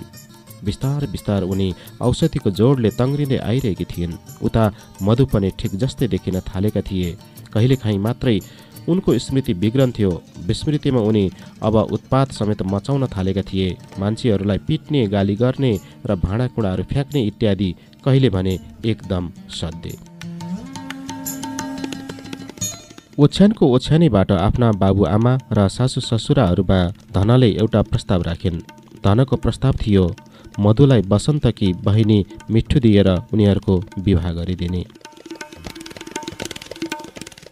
धनको प्रस्तावमा सब खुसी भए। धन र मिठुका पिता माताहरूबाट प्रस्ताव स्वीकृत भयो। मधुका पिता पनि मिठुलाई हेरेर मधुको विवाह गर्न राजी भए। धनकी नन्द मिठुले लाज मानेर मन्जुरीको टाउको हल्लाइन्। मधुले पहिले त बिहा गर्न मन्जुर गरेका थिएनन् तर सबले सम्झाए बुझाए पछि धनको प्रार्थना पत्र पढेर आफ्नो धुनमा उनले हुन्छ भन्ने वचन दिए। सबतिरबाट उनको प्रस्ताव पास भयो। दुवैतिरबाट विवाहको काम कुरो छिनियो। मिठो हल्लक्क बढेकी सलसलाउँदै पन्ध्र वर्षकी ललाना थिइन्। नागरिक जीवनमा बाल्यावस्थादेखि नै पुतलीकी विवाह गरेर खेल्दै कुखुरे बैंसको भावुक खुड्किलामा उक्लिरहेकी अमर माया जस्ता प्रेम नाटकका पुस्तक उनलाई प्रिय लाग्थ्यो। गजलका गीतहरू पनि उनी लुकी लुकी गाउँथिन्। विवाहको नाम सुन्दैमा पनि उनलाई कसैले कुतकुती लगाइदिएको जस्तै लाग्थ्यो। जसको होस् बाहिर सडकमा ल्याइरहेको विवाहको बाजा सुन्ने बित्तिकै उनी मिठो निन्द्राबाट पनि बिउजेर दुला दुलै हेर्न दौडन्थिन्। भर्खर खाना बसेकी किन नहुन् भागै छाडेर समेत दौडन्थिन् अनि किसिम किसिमका टिका टिप्पणी र समालोचना गर्थिन् दुलै यस्ती र दुल्हा यस्तो भनेर। दाजुको विवाहको मिठुलाई खुब चासो थियो सायद रोलको निम्ति होला। दाजुको विवाहमा रतेलीकी नायिका पनि उनै थिइन्। विवाह गर्ने दाजुलाई र अरू परिवारलाई भन्दा उनलाई नै बढ्ता रमाइलो लागेको थियो। विवाहको रातमा त दाजु भाउजूको गोलमाल पर्यो। विवाहको भोलि पर्सिपल्टसम्म पनि उनले दाजु भाउजूको कोठामा च्याउन छाडेकी थिएनन्। देउसे पनि मटानमा ओहोर दोहोर गर्दा दाजु भाउजू बसिरहेको कोठाको ढोकातिर यसो अडिएर भित्रतिर कान थाप्दै मुसुक्क हाँसेर टाउको हल्लाउनु पर्थे उनलाई। भित्रको केही कुरा सुनेर हो या नसुनेरै उनै जानुन्। हंसमुखी मिठो बेतपातेको साथै नकली पनि थिइन्। उनलाई हात खुट्टा नाक मुख र जिउको समेत भाउ लगाई लगाई अर्काको नक्कल खुब गर्नुपर्थ्यो उनी जसको पनि दुरुस्त नक्कल गर्थिन् उनी नाच्थिन् पनि। मिठो गोरी नै थिइन् तैपनि उनलाई पाउडर यसरी पोत्नु पर्थ्यो। उनको मुख चुन पोतेको चिबा जस्तै देखिन्थ्यो। ओठमा लाली उस्तै किसिमले थोपर्थिन् उनी महिषासुरको रगत पिएकी भगवती जस्तै देखिन्थिन् उनी आँखामा गाजल यस्तै लोपर्थिन् वज्राचार्यको ढोकामा लेखेको बलढ्याङ्ग्रे आँखा नै हो। मिठोको हुलिया लेख्नु परेमा उनको त्यस्तै देखिने किसिमको कोठी सोठी त केही थिएन न कुनै घाउको खत नै देखिन्थ्यो। अरू अवयवको बयान लेख्ने हो भने ठाउँ ठाउँमा सबैको हुन्छ अलिकति बानीकी फरक होला त्यति हो। अँ उनका आँखीमा भने उनले कुरा गर्दा बातै पछि कुनै जीवधारी वस्तु नै हो कि भने चाहिँ गरेर खुब सलसलाइरहन्थे। उनी चुप लागेको बेलामा पनि बोल्न सकसकाए जस्तै उनको ओठ फरफराइरहन्थ्यो। उनको चिउडाको बिचैमा विशेष तवरले गहिरिएको एउटा यस्तो ऊर्ध्वरेखा थियो जसले गर्दा चिउडोका दुई फक्ल्याटा प्रष्ट छुट्टिएका थिए। उनको हिस्सी पनि त्यसैमा थियो। उनको ज्यान पनि त्यही हो। कम्मर ज्यादैसँग छिनेकोले शरीरको भाग थाम्न नसक्ला जस्तो पुट्ठा निकै उक्सेकोले पुष्ट जाँगले थामेको स्लौड पिडौला र कोमल पाउ सब दुरुस्त थिए। मिठुले भाउजूको मुखबाट मधुको बयान सुनिसकेकी थिइन्। मधु खुब मन परे उनलाई त्यसैले उनले मधुसँग आफ्नो विवाहको कुरा चल्ने बित्तिकै सफलताको निम्ति दक्षिणकाली माईलाई बोको भाकल गरेर प्रार्थना गरेकी थिइन्। मिठु र मधुको स्वयंवर भयो। विवाहको शुभ मुहुर्त तय भए पनि एकाध हप्ता बाँकी नै थियो। विवाहको लगन त्यस वर्षको फागुन महिनाको आखिरी हप्ताको दिनको अन्तिम लगन थियो। मिठो घडीको टिकटिक गनेर विवाहको दिनको प्रतीक्षा गरिरहेकी थिइन्। उनी नाना तरहको कल्पना गर्थिन् कल्पने कल्पनाका रातका रात छर्लङ्ग बिताउँथिन्। विवाह घरको दुवैतिर धुमधामसित विवाहको बन्दोबस्त भइरहेको थियो। जति जति विवाहको दिन नजिक हुन्थ्यो उति उति मिठो आतुर हुन्थिन्। आखिर विवाहको दिन आयो। विवाहको दिन आए पनि साईपाटापछि जन्तीको प्रतीक्षा गरिरहेकी थिइन् मिठो। भडक साथ जन्ती आयो। मिठो लुकेर च्याइरहेकी थिइन्। बरनीको काम पनि भयो। कन्यादानको काम पनि बेलैमा सुसम्पन्न भयो। भोलिपल्ट दुल्हा दुलहीलाई यज्ञमा बसाले। विवाहको मन्त्र फलाक्दै ब्राह्मणहरू होम गरिरहेका थिए। विवाहको विधि विधान चल्दै थियो। मधुलाई विधि विधानहरू सब भद्दा र नचाहिँदो लागिरहेको थियो। उनी झर्को मानिरहेका थिए। उनको मस्तिष्क बिजुलीको करेन्ट लागे जस्तै बराबर झन्न झन्न भइरहेको थियो। लगन गाँटो समातेर दुलैको पछि पछि जग्गे घुमिरहेको बेलामा मधुले कसैले धनको नाम उच्चारण गरेर कुरा गरेको सुने। धनको नाम सुन्ने बित्तिकै उनलाई एकदमसित सनक चढेर आयो। उनले कराएर भने को हो यहाँ धनको नाम लिने। को हो मेरो धनसँगै त बिह भइरहेको छ नि। दुलै जिल्ल परेर थर्र काँभिन्। मधुको बाउलट्ठी कुरा सुनेर एक डफ्फा मान्छेहरू खुबसँग खितका छोडेर हाँसिरहेका थिए। मधुको सनक बढिरहेको थियो। मान्छेहरूले हाँसेर उनको हँसी उडाएको उनलाई गिजाएको उपेक्षा गरेको उनलाई अनुभव भयो। उनले आफ्नो तर्लाङ तुर्लुङ मालासाला सब चुडाल्दै फेरि ठुलो स्वरले सन्केर कराउँदै भने दुलै धन होइनन् भने मलाई यहाँ किन ल्याएको त? म गर्दिनँ बिहा गर्दिनँ गर्दिनँ। ब्राह्मणहरूसित यज्ञमा उपस्थित सारा मान्छेहरूले उतर्सिएर हाहा यो के गरेको? भनेर कराउँदै मधुलाई सम्हाल्ने अभिप्रायले समाते। एकजना दुल्हा मधुसित धेरै मान्छेहरूको गुस्तागुस्ती पर्यो। यज्ञका सामग्री र मालसामानहरू सब हान्डाङ हुन्डुङ भएर छ्यान्न ब्यान्न भयो। चक्ना चुर भएर फुटे छरपष्ट भएर छरिए छताचुल्ल भएर पोखिए भत्ताभुङ्ग भएर बिग्रिए भत्कियो भलिद्र भयो सखाब भयो। हाहाकार मचियो सारा मान्छेहरूबाट फुत्केर मधु कराउँदै दौडे। म गर्दिनँ यो बिहा। गर्दिनँ गर्दिनँ। मधु कराउँदै बेपत्ता भए। मधुलाई समात्न पछि पछि गएका मान्छेहरूको हार भयो। स्वा स्वा फाँफा गरिरहेका मानिसहरू सब आश्चर्यचकित भइरहेका थिए। जग्गे चन्दुवा हल्लाएर हाँसिरहेको थियो। मोहनले रिसाएर भने मैले पहिले नै नभनेको हुँ र? बहुलाको भर हुँदैन भनेर? लौ भएन के बिहा? मिठुले आफ्नो भयङ्कर मानहानी भएको सम्झिन्। उनी पनि दौडेर माथितिर उक्लेकी थिइन्। आवेशमा उनले आफ्नो जिउको लुगामा मट्टीतेल खनाएर आगो सल्काइछन्। माथि नै फेरि ठुलो कोलाहाल मचियो। तलका मानिसहरू पनि अट्टाइ नआटाइ माथि नै पुगे। तै माथिका मान्छेहरूले मिठुको जिउको आगो निभाएछन्। ठाउँ ठाउँमा पोलिएर भए पनि मिठु बाँचिन्। तर विवाहको लगन टर्यो।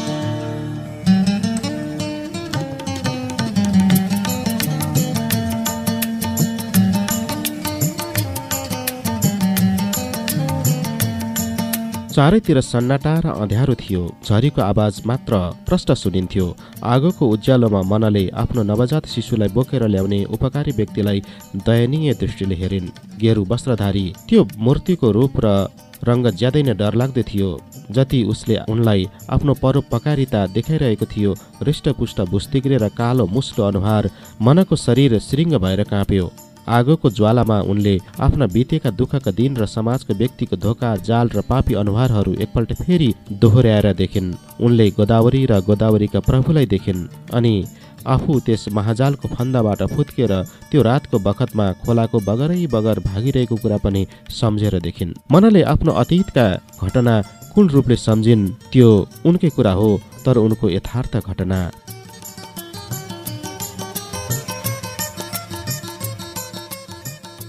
मन गोदावरीको घरबाट निस्केर अँध्यारोमा सासै नफेरेर बाटो अबाटोको प्रभाव नै नगरेर सोझै पूर्वतिर खेतै खेत दौडेर धोबी खोला पुगिन्।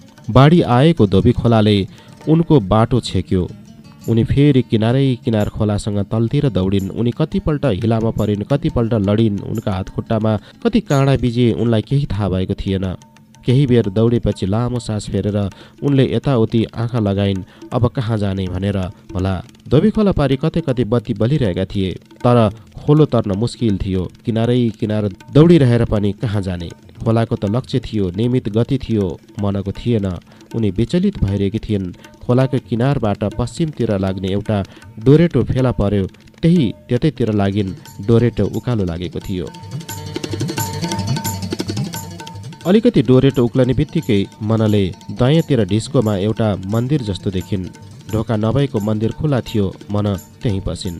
मनले छामेर थाहा पाइन् मन्दिरको देवता पश्चिम फर्केर भित्तामा अडेस लागेका थिए। उनले अझ छामेर लख गरिन् बिणा पुस्तक धारिणी ढुङ्गाको त्यो स्निग्ध मूर्ति सरस्वतीको थियो। उनले सरस्वतीको पाउमा शिर राखेर प्रणाम गरिन् अश्रु जल चढाइन् त्यहीँ लम्पसार परिन्। मनले यति जोडले सरस्वतीको पाउमा शिर राखिछन्। धलौटे भाँडोको आवाजले मूर्ति ठ्याङ्ग बज्यो।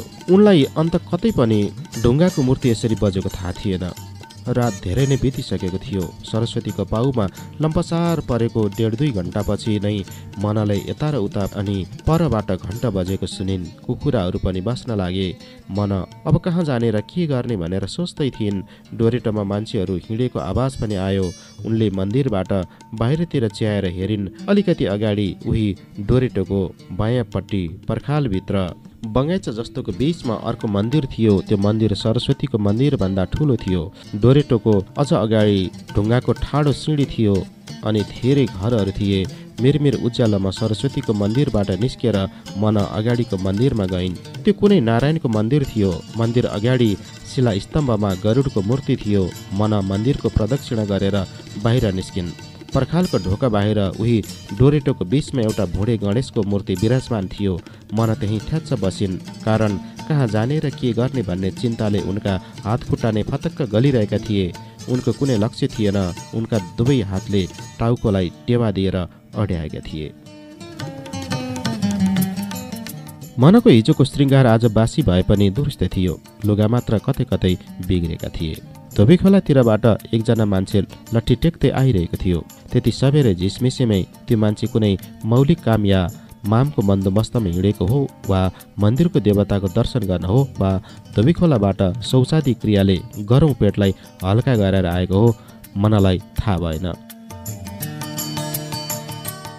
ख्याउटे र सानो गाँठी जिउको भए पनि चाउरी परेको अनुहारले त्यो मान्छेलाई अलि पाकै उमेरको बताउँथ्यो। उसले बाँडाहरूले लाउने किसिमले नाकको डाँडीमा अड्याएको बदामी बानिकेको चस्माबाट उसका दुई आँखा नाङ्गै देखिन्थे। ऊ भलात्मी जस्तै थियो। उसले त्यसरी अलपत्र परेर डोरेटामा बसिरहेकी मनलाई देखेर गढेर हेर्दै अड्कल लगायो। आकाशको तारा आज यहाँ कसरी खसेछ अथवा यी स्वर्गकी अप्सरा खसेर आएकी हुन्? कस्तो आँखै तिरिमिराउने सौन्दर्य? होइन भित्र मन्दिरका सत्यनारायणलाई चढाउन ल्याइएको फुलहरूमा कसैले यसलाई हिलो लागेको ठहराएर यहीँ फालिदिएको होला? तर यो सूर्योदयमा फक्रने कमलको फुल हो अथवा कुनै रावणले सक्कली पार्वतीलाई विष्णुको झुटो कुरा पत्याएर यहीँ मिल्काएर हिँडेको हो के हो? कहिले त राजमुकुटमा जडिने हिरा पनि कसरी मिल्किन्छ भुइँमा? भुइँ भुइँबाटै संसारका अमूल्य वस्तु उत्पन्न हुन्छन्। सीता पनि भुइँबाटै निक्लेकी नहुन् तर यी सुन्दरी कुन सीता हुन् बुझ्नै पर्छ। चस्माधारी व्यक्तिले आफूलाई अरू पुरुषबाट छुट्याएर हो वा आफू पुरुषत्वबाट बाहिर भएर हो मनै मन खुब कुरा कथेर भूमिका बाँध्दै मनसँग प्रश्न गर्यो। संसारका चाहिने लोग्ने मान्छेहरू ज्यादै बेइमान हुन्छन्। आफ्नो घरमा गएको चाहिने सिन्धुको बिन्दुलाई अनादर गरेर चाहिने नालको पानीको कदर गर्छन्। रानी यहाँ कताबाट चाहिने यो बेलामा? मनले टाउको उठाएर त्यो चस्माधारी प्रौढ व्यक्तिलाई हेरिन्। ती व्यक्तिले आफ्नो परिचय दिएर फेरि सोधे म त चाहिने यहाँकी बासिन्दा हो यहीँ चाहिने हाँडी गाउँको तर हाँडी गाउँ त चाहिने नाम मात्रै हो। मना मानेश्वरीको स्थानीयनिर चाहिने मेरो घर छन्। नानी चाहिने कताबाट हो कुनै? यतातिर त चाहिने नानीको घर होइन मन मानेश्वरीको नाम सुनेर मन झसङ्ग भए जस्तै भइन्। किनभने उनको नाम पनि त्यही थियो। उनलाई ती चस्माधारी व्यक्तिसित केही दुःख पुकार गरौँ गरौँ जस्तो लाग्यो। उनले भनिन् बा म दुःखले खेदे कि अभागिनी हुँ। अधेरी रातमा लड्दै पढ्दै म यहाँ आएँ कुन बाटो आएँ कताबाट आएँ मलाई नै थाहा छैन। मेरो कतै जाने ठाउँ पनि छैन बा भनेर दुःख पुकार गर्दा मनको आँसु पनि उर्लियो।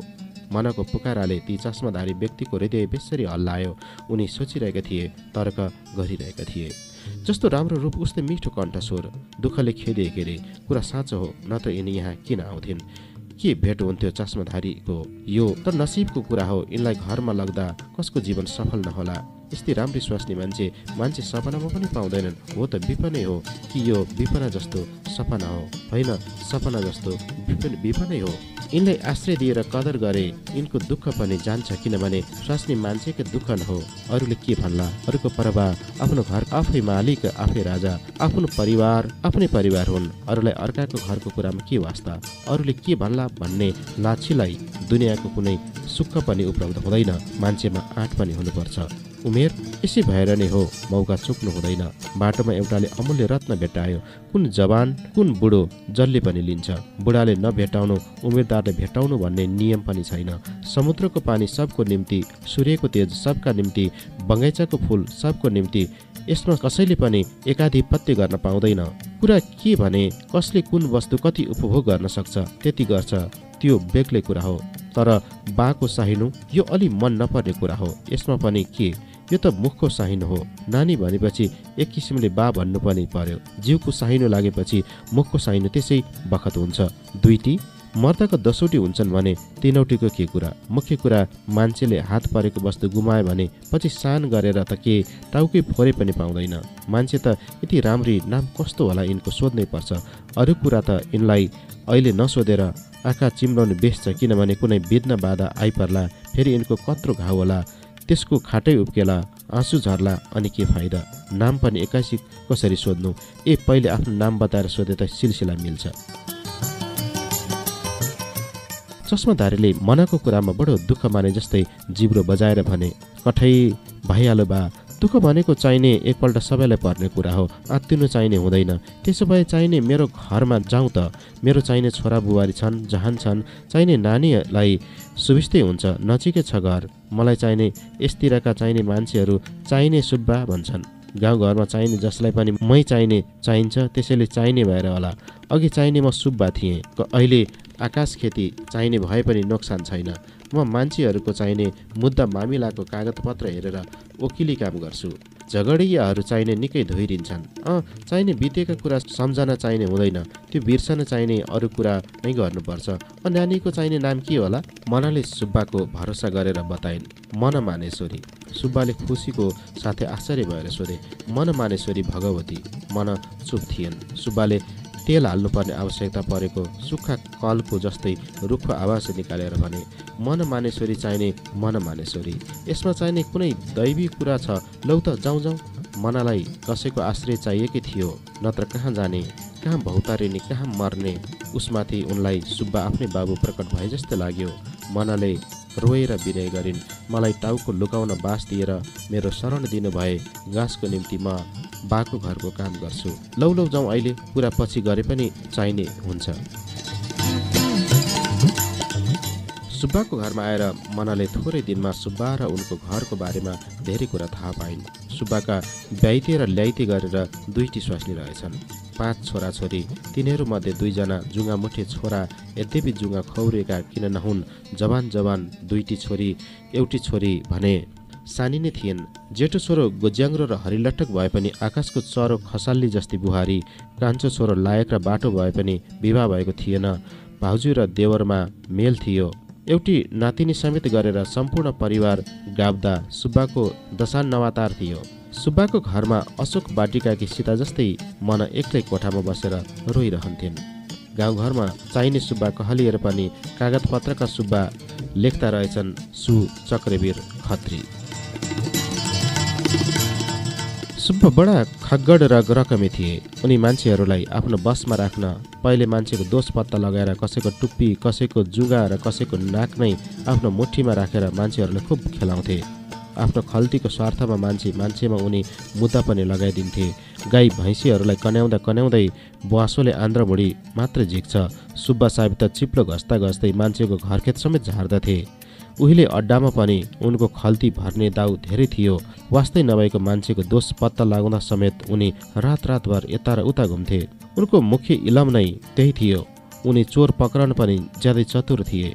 त्यही किसिमसँग घरमा पनि उनले आफ्नो सत्ता जमाएका थिए। उनी विचार गर्थे यति बुद्धिमानी नगरेर कसरी दुईटी स्वास्नी सुमर्नु?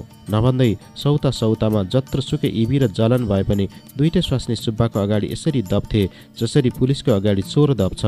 जेठो छोरो त हरिलठक नै थियो। बुहारी जतिसुकै छत्तिसी भए पनि ससुरासित बोल्न सक्दिनथे बाटोमा दरिएको कान्छो छोरो समेत बाबुको अगाडि टाउको ठड्याउन सक्दैन थियो। बाबुलाई देख्ने बित्तिकै छोरीहरू पनि डराएर रातो मुख लाउँथे। केटाकेटी त केटाकेटी नै भइहाले। घरमा एकाधिपत्य शासन थियो सुब्बा साहेबको। सुब्बा कुन बेला कहाँ जान्छन् के के गर्छन् के के काम गर्छन् कुन बेला घर आउँछन् उनका परिवार कसैले पनि थाहा हुँदैन थियो। उनी आधा रातमा पनि निस्कन्थे। सुब्बाले मनको निमित्त एउटा छुट्टै कोठा दिएका थिए। मनलाई अहिले कसैसित केही कुरा नगर्नु कसैले खोजी नीति गरे पनि केही नबताउनु भन्ने सुब्बाको सम्मति थियो। मनलाई पनि कसैसित कुरा गरिरहने कुनै आवश्यकता थिएन। घरका परिवारहरूलाई पनि सुब्बाले मनको परिचयमा साउती गर्दै यस्तै किसिमको कुनै ठुलो कुरा देखाए कसैले केही कुरा नगर्नु भन्ने कडा उर्दी दिएका थिए। उनले भनेका थिए चाहिने भन्नु हुँदैन। नाम लिन समेत चाहिने मलाई मनाइ छ। यिनी एउटा चाहिने ठुलै मान्छेकी छोरी हुन्। दरबारी चाहिने पेच के के हो चाहिने जानि नसक्नु। बिचरी यिनी पनि चाहिने आफन्तकै पेचमा परिछन्। मान्छे जतिसुकै ठुला भए पनि चाहिने ममाथि यिनका बुबा मुमाहरूको चाहिने ठुलो विश्वास भएकोले अलिदिन चाहिने यिनलाई मेरा जिम्मामा चाहिने सुम्पेका ठुला बडाका कुरा के गर्नु? त्यस्तै त हो नि। आफूले पनि चाहिने उहिलेदेखि नै मानिआएको अहिले पनि नाइनास्ती गर्न सकिएन। यिनी यहाँ छन् भन्ने चाहिने कतै कुरा नगर्नु। यिनीसँग चाहिने कुनै चाहिने नचाहिने कुरा गरेर खोजिनेति पनि नगर्नु। सुब्बा साहेबको तीक्ष्ण दृष्टिले मनालाई देख्दैमा यो नम्बरी सुनको मूर्ति हो भन्ने कुरा पहिचान गरिसकेको थियो।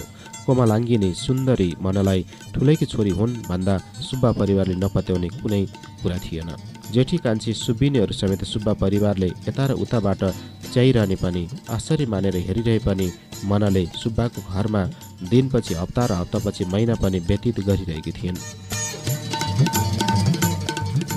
केटाकेटीलाई समेत हप्काएर आउन नदिएर पनि सुब्बा चाहिँ एक एक कुराको बहाना गर्दै मनको कोठामा आइरहन्थे बसिरहन्थे।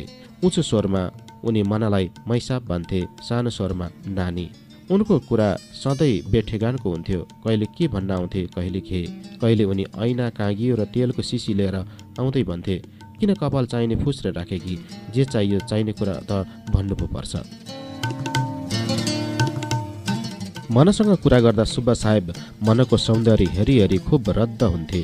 मनको माथिदेखि तलसम्मको एक एक शरीरावयवमा सुब्बाको दृष्टि खुब गर्दथ्यो रसास्वादन गरी गरी खुब रम्थ्यो। मन भने सुब्बाको अगाडि बसेर कुरा गरिरहन सङ्कोच मान्थिन्। कहिले उनलाई झर्को लाग्थ्यो।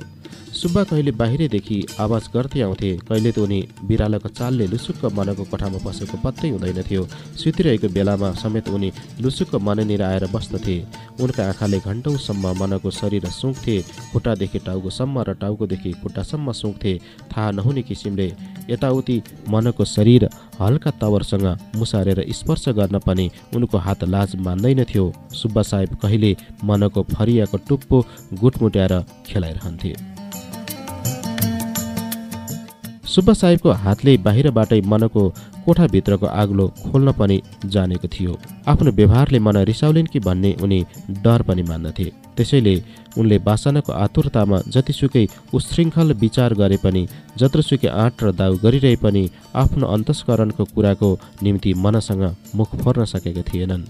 मै माग्ने ढुङ्ग्रो लुकाउने भने जस्तो भइरहेको थियो तापनि उनी उद्योग गर्दै थिए। मनको सारा भेद लिने सुब्बाको ठुलो कोसिस थियो तर मन भने केही पनि भन्दैनथिन्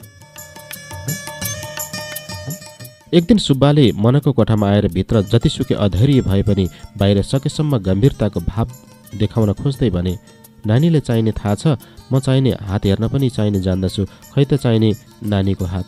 मनको सुकोमल हात आफ्नो कम्पित तथा उष्ण हातमा लिएर आफ्नो बेहुस हुन लागेको हृदयलाई सम्हाल्न खोज्दै चस्माले नछोपेका आँखाले मनको हातभन्दा मुख र अरू अवयवतिर हेर्दै अलिक गला कपाएर सुब्बाले हस्तरेखाको फल बताए ओहो हालैमा चाहिने नानीको ठुलो खड्गाष्ट रहेछ चाहिने भ्रामरीको दशा रहेछ तर अब चाहिने टर्यो यो आएको चाहिने रेखा हो। चालिस वर्षमा चाहिने बिरामी हुने अर्को खड्गो छ। पुरा आयु चाहिने सत्तरी वर्ष। यो चाहिने धनको रेखा हो। अहिले धन हातमा चाहिने नटिके पनि पछि पछि टिक्छ। जग्गा जमिन पनि चाहिने यथेष्ट छ। अ नानीले चाहिने पहिलो मान्छेबाट असल चाहिने हुँदैन। दोस्रोले भने चाहिने खुब माया गर्छ। घर पनि चाहिने हुन्छ। सुब्बा साहेबले मनको मुखतिर एकपल्ट पुलुक्क हेरेर उनको भुँडी खोतल्न खोज्दै फेरि हस्तरेखाको फल बताए। नानीको चाहिने पितामाता सुब्बाको कुराको बिचैमा मनले भनिन् यो मेरो दाहिने हात। सुब्बा एकचोटि खङ्ग्रङ्ग भए र उनले बेउसीपनलाई सच्याउन खोज्दै भने ए हो उही त हो नि दाहिने र चाहिने देब्रे। हुन त स्वास्नी मान्छेको चाहिने पायाँ हातै हेर्छन् तर जान्नेको निम्ति चाहिने केही फरक हुँदैन। जान्नेले चाहिने दाहिने हेरेर देब्रे पनि चाहिने देख्दछ। देब्रे हेरेर चाहिने दाहिनेको कुरा पनि बताउँछ। आफ्नो कुराले मन पग्लिलिन् भनेर सुब्बा साहेब बनाई बनाई कति कुरा गर्थे। अनेक भूमिका बाँध्थे तर उनको गन्थने कुरामा मन अलिकति पनि ध्यान दिन्नथिन् उनको कुराले मनमा केही पनि असर गर्दैन थियो। उनी जिल्ला पर्थे भित्रभित्रै मोरमोरिन्थे नयाँ नयाँ उपाय सोच्दथे। जति उपाय सोचे पनि गन्थने भूमिका र दुई चार व्यङ्ग्योक्तिका अतिरिक्त सुब्बाले आफ्नो अन्तस्करणको मुख्य कुराको निम्ति मनको अगाडि केही गरे पनि मुख बाउन सकेनन्।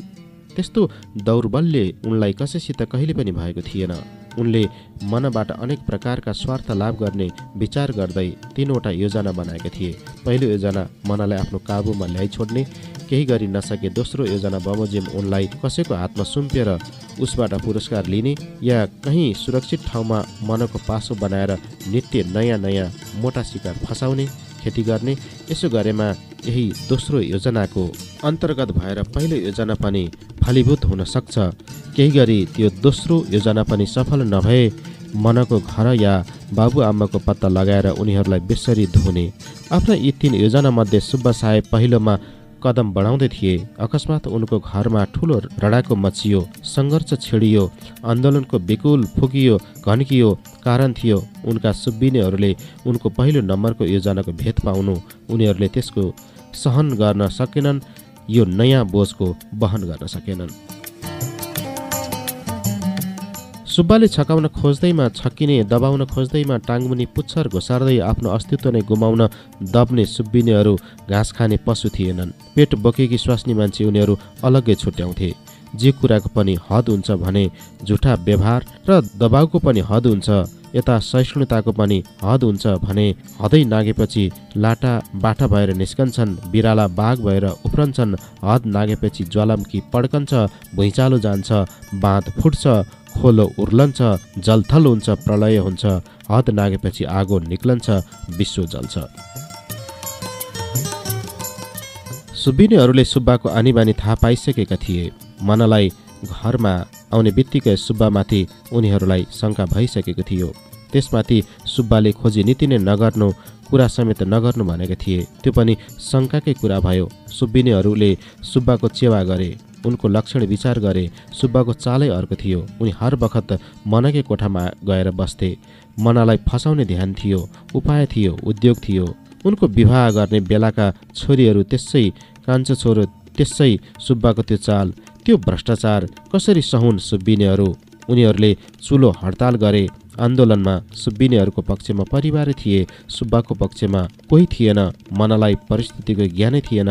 आफ्नै कारणमा सुब्बा र सुब्बा परिवारमा सङ्घर्ष चलिरहेको कुरा उनलाई केही पनि थाहा भएन। त्यसैले उनी तटस्थ थिइन्। सुब्बा साहेब साबिक बमोजिम भान्सा गर्न जान्छन् त भान्सा रित्तै चुलो बुङ्गै चौका खाली। उनले आश्चर्य मानेर कान्छी सुब्बिनेलाई सोधे किन ए कान्छी आज चाहिने कुन दसी हो? जवाफमा कान्छीको बम पड्क्यो को कान्छी? कान्छी त अर्कै होले नि सोध्नु क्या माथिकी कान्छी मैया साहेबलाई? दसी हो कि प्रमाण हो? यो उमेरमा पनि स्वास्नी ल्याएर हिँड्न लाज नलाग्ने माथि नै फकाए त? एक्कासी बम पड्केकामा सुब्बाको रिसले तोरीको फुल देख्यो। उनले कान्छी सुब्बिनेको गालामा बाघ पन्जा जमाएर जङ्गिए। के वास्ता? के चाहिने? त फुडीलाई? म चाहिने स्वास्नी ल्याउँ कि? जेसुकै चाहिने ल्याउँ। बढेर चाहिने नचाहिने कुरा चाहिने सुब्बाको बाघपन्चा पाएकी कान्छी सुब्बिनी कङ्कला शब्दले डाँको छोडेर रुँदै घरै उचालेर कराइन् मारे बाबा मारे गुहार गुहार भन्दै। कान्छी सुब्बिनीको गुहारमा सारा परिवार खनियो।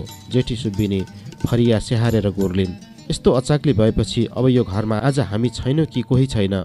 सुब्बाले जेठी सुब्बिनेलाई पनि भकुर्नसम्म भकुरे बाजा बाज पर्यो रुवाबासी चल्यो लचार पचार पर्यो। सुब्बाको घरमा ठुलो कोलाहल मचियो। सब उफ्रिँदै थिए। एकछिनपछि सुब्बाका छोराहरूले बाबुआमाहरूलाई त्यस रण सङ्ग्रामबाट छुट्याएर एक एकतिर थुपारे। मल्ल युद्ध सिद्धिएपछि वाक युद्ध चलिरहेको थियो। माथि कोठामा मन जिल्ल परेर झोक्राइरहेकी थिइन्। अब उनलाई पनि परिस्थितिको ज्ञान भइरहेको थियो। उनलाई ज्यादै ननिको लाग्यो। उनले बाबु जस्तो सुब्बाको मनसाय बुझिन् चरित्र देखिन्। सन्ध्या समय बितिसकेको थियो।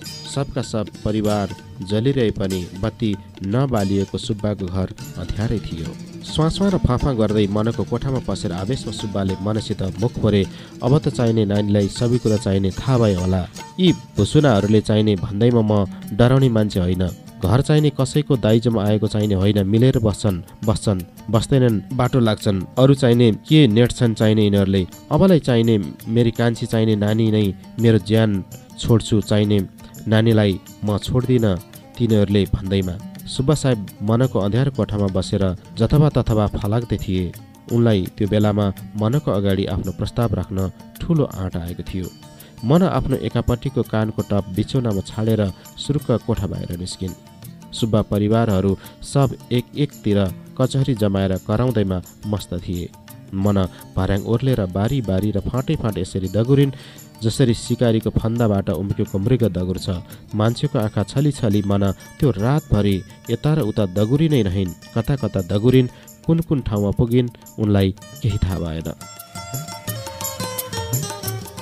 महिनौ महिनौ दिनसम्म लक्ष्यहीन मन त्यसै भौतारी रहिन्। कहिले चार पैसाको चिउराको भरमा कहिले दुई अँजुली पानी र कहिले त्यसै उनको कति मान्छेसित भेट भयो कतिले कति कुरा गरे मिठो मसिनो चिप्लो खस्रो उल्टो बाङ्गो सब किसिमको तर उनलाई कसैको पनि विश्वास लाग्दैन थियो।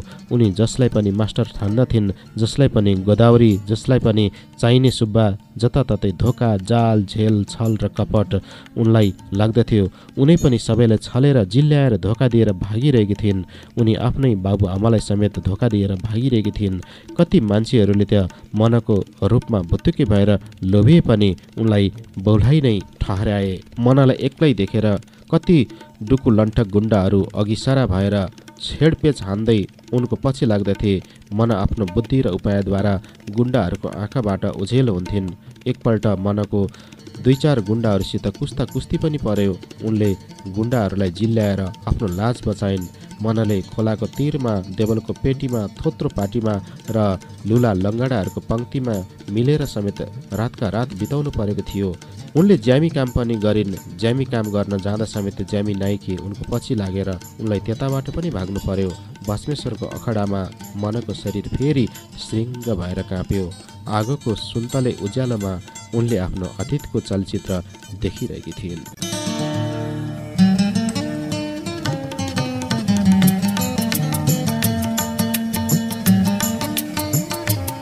चोर जस्तै लुक्दै छिप्दै भोक र तिर्खाले रन थनिँदै जताततैबाट भाग्दै कता कताबाट मन त्रिपुरेश्वरको एउटा घरमा भाँडा माझ्ने नोकर्नी लाग्न पुगिन्। त्यो घर बाहुनको थियो।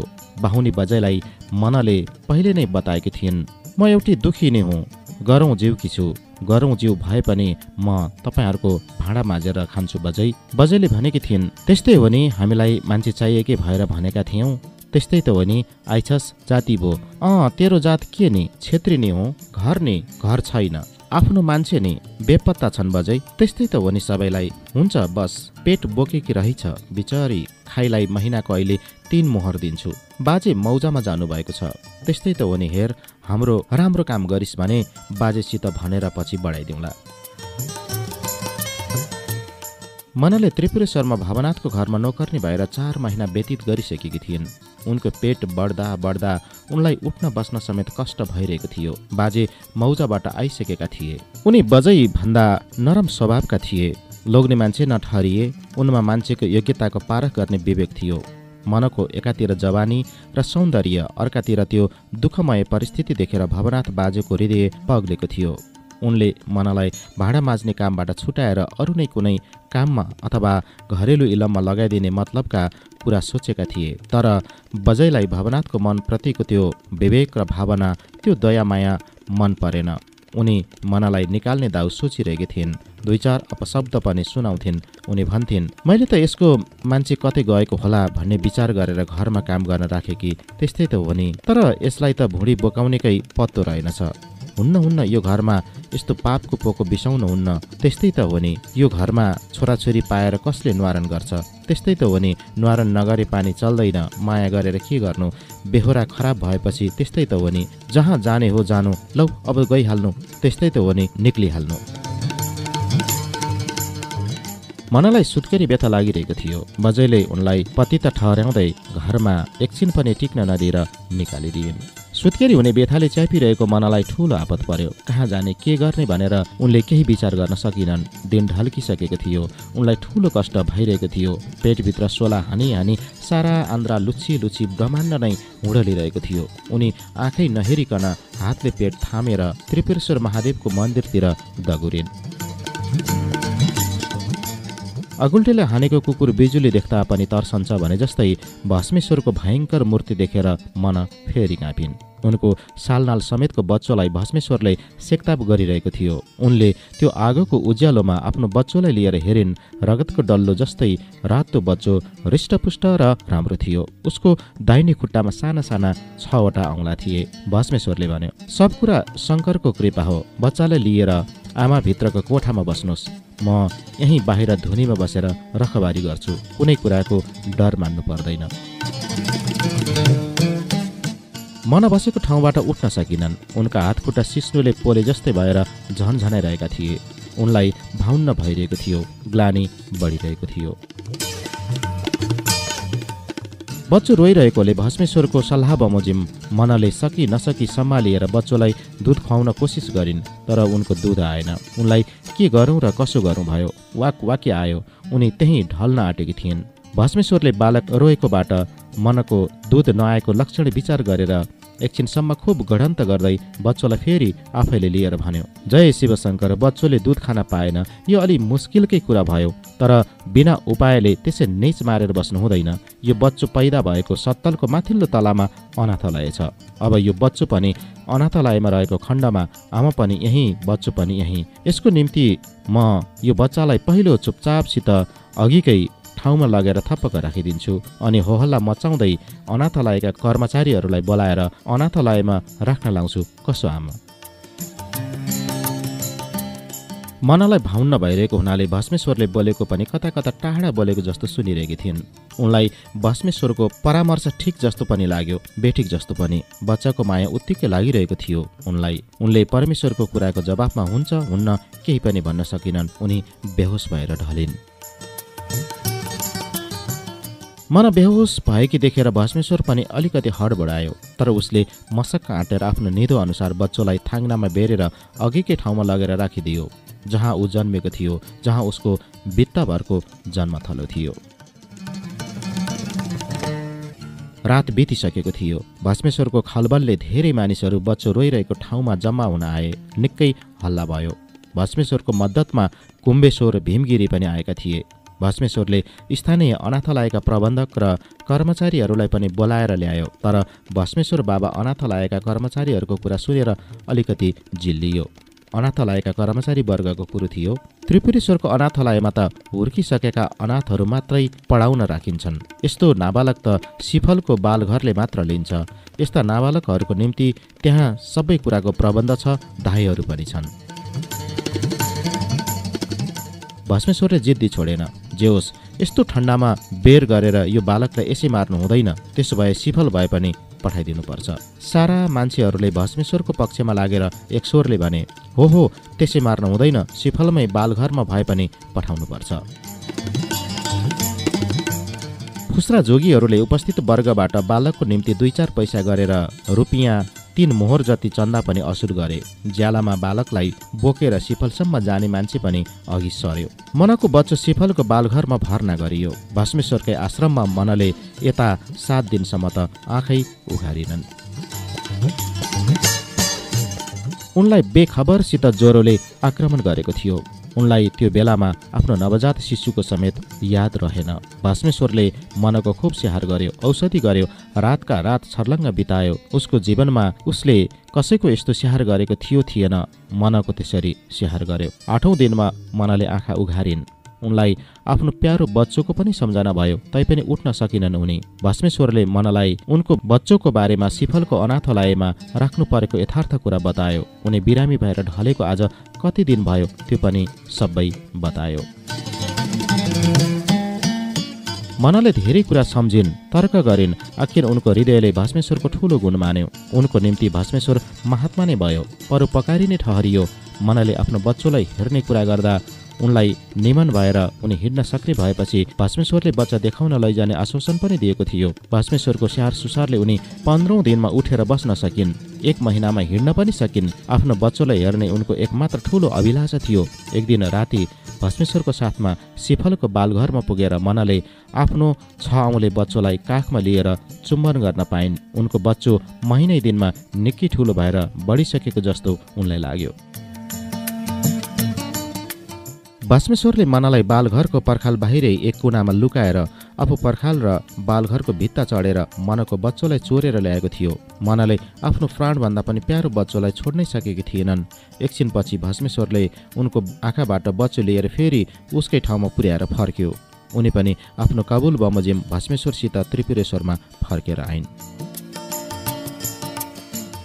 भस्मेश्वरले आफूमाथि ठुलो गुण लगाएको भए पनि बखतमा देवती जस्तो भएर ऊ प्रकट भएको भए पनि उसको लक्षण र सारा काम कुराहरू देखेर मन उसित सधैँ डराउँथिन्। भस्मेश्वर बेलुका सधैँ जाँटले टन्न भएर आउँथ्यो।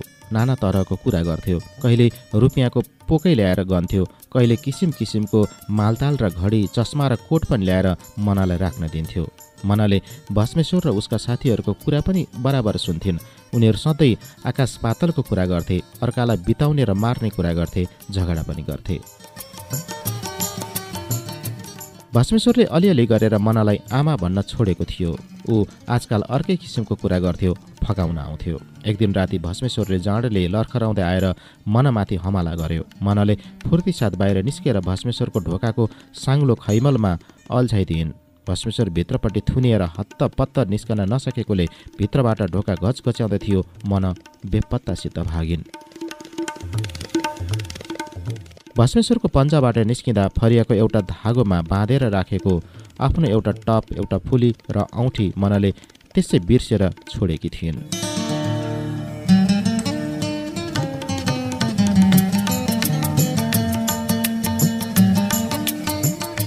हिजो सङ्क्रान्तिको बेलुकी पख काजी चेतबहादुर सिंहले बेबी सिंहको तार पाए।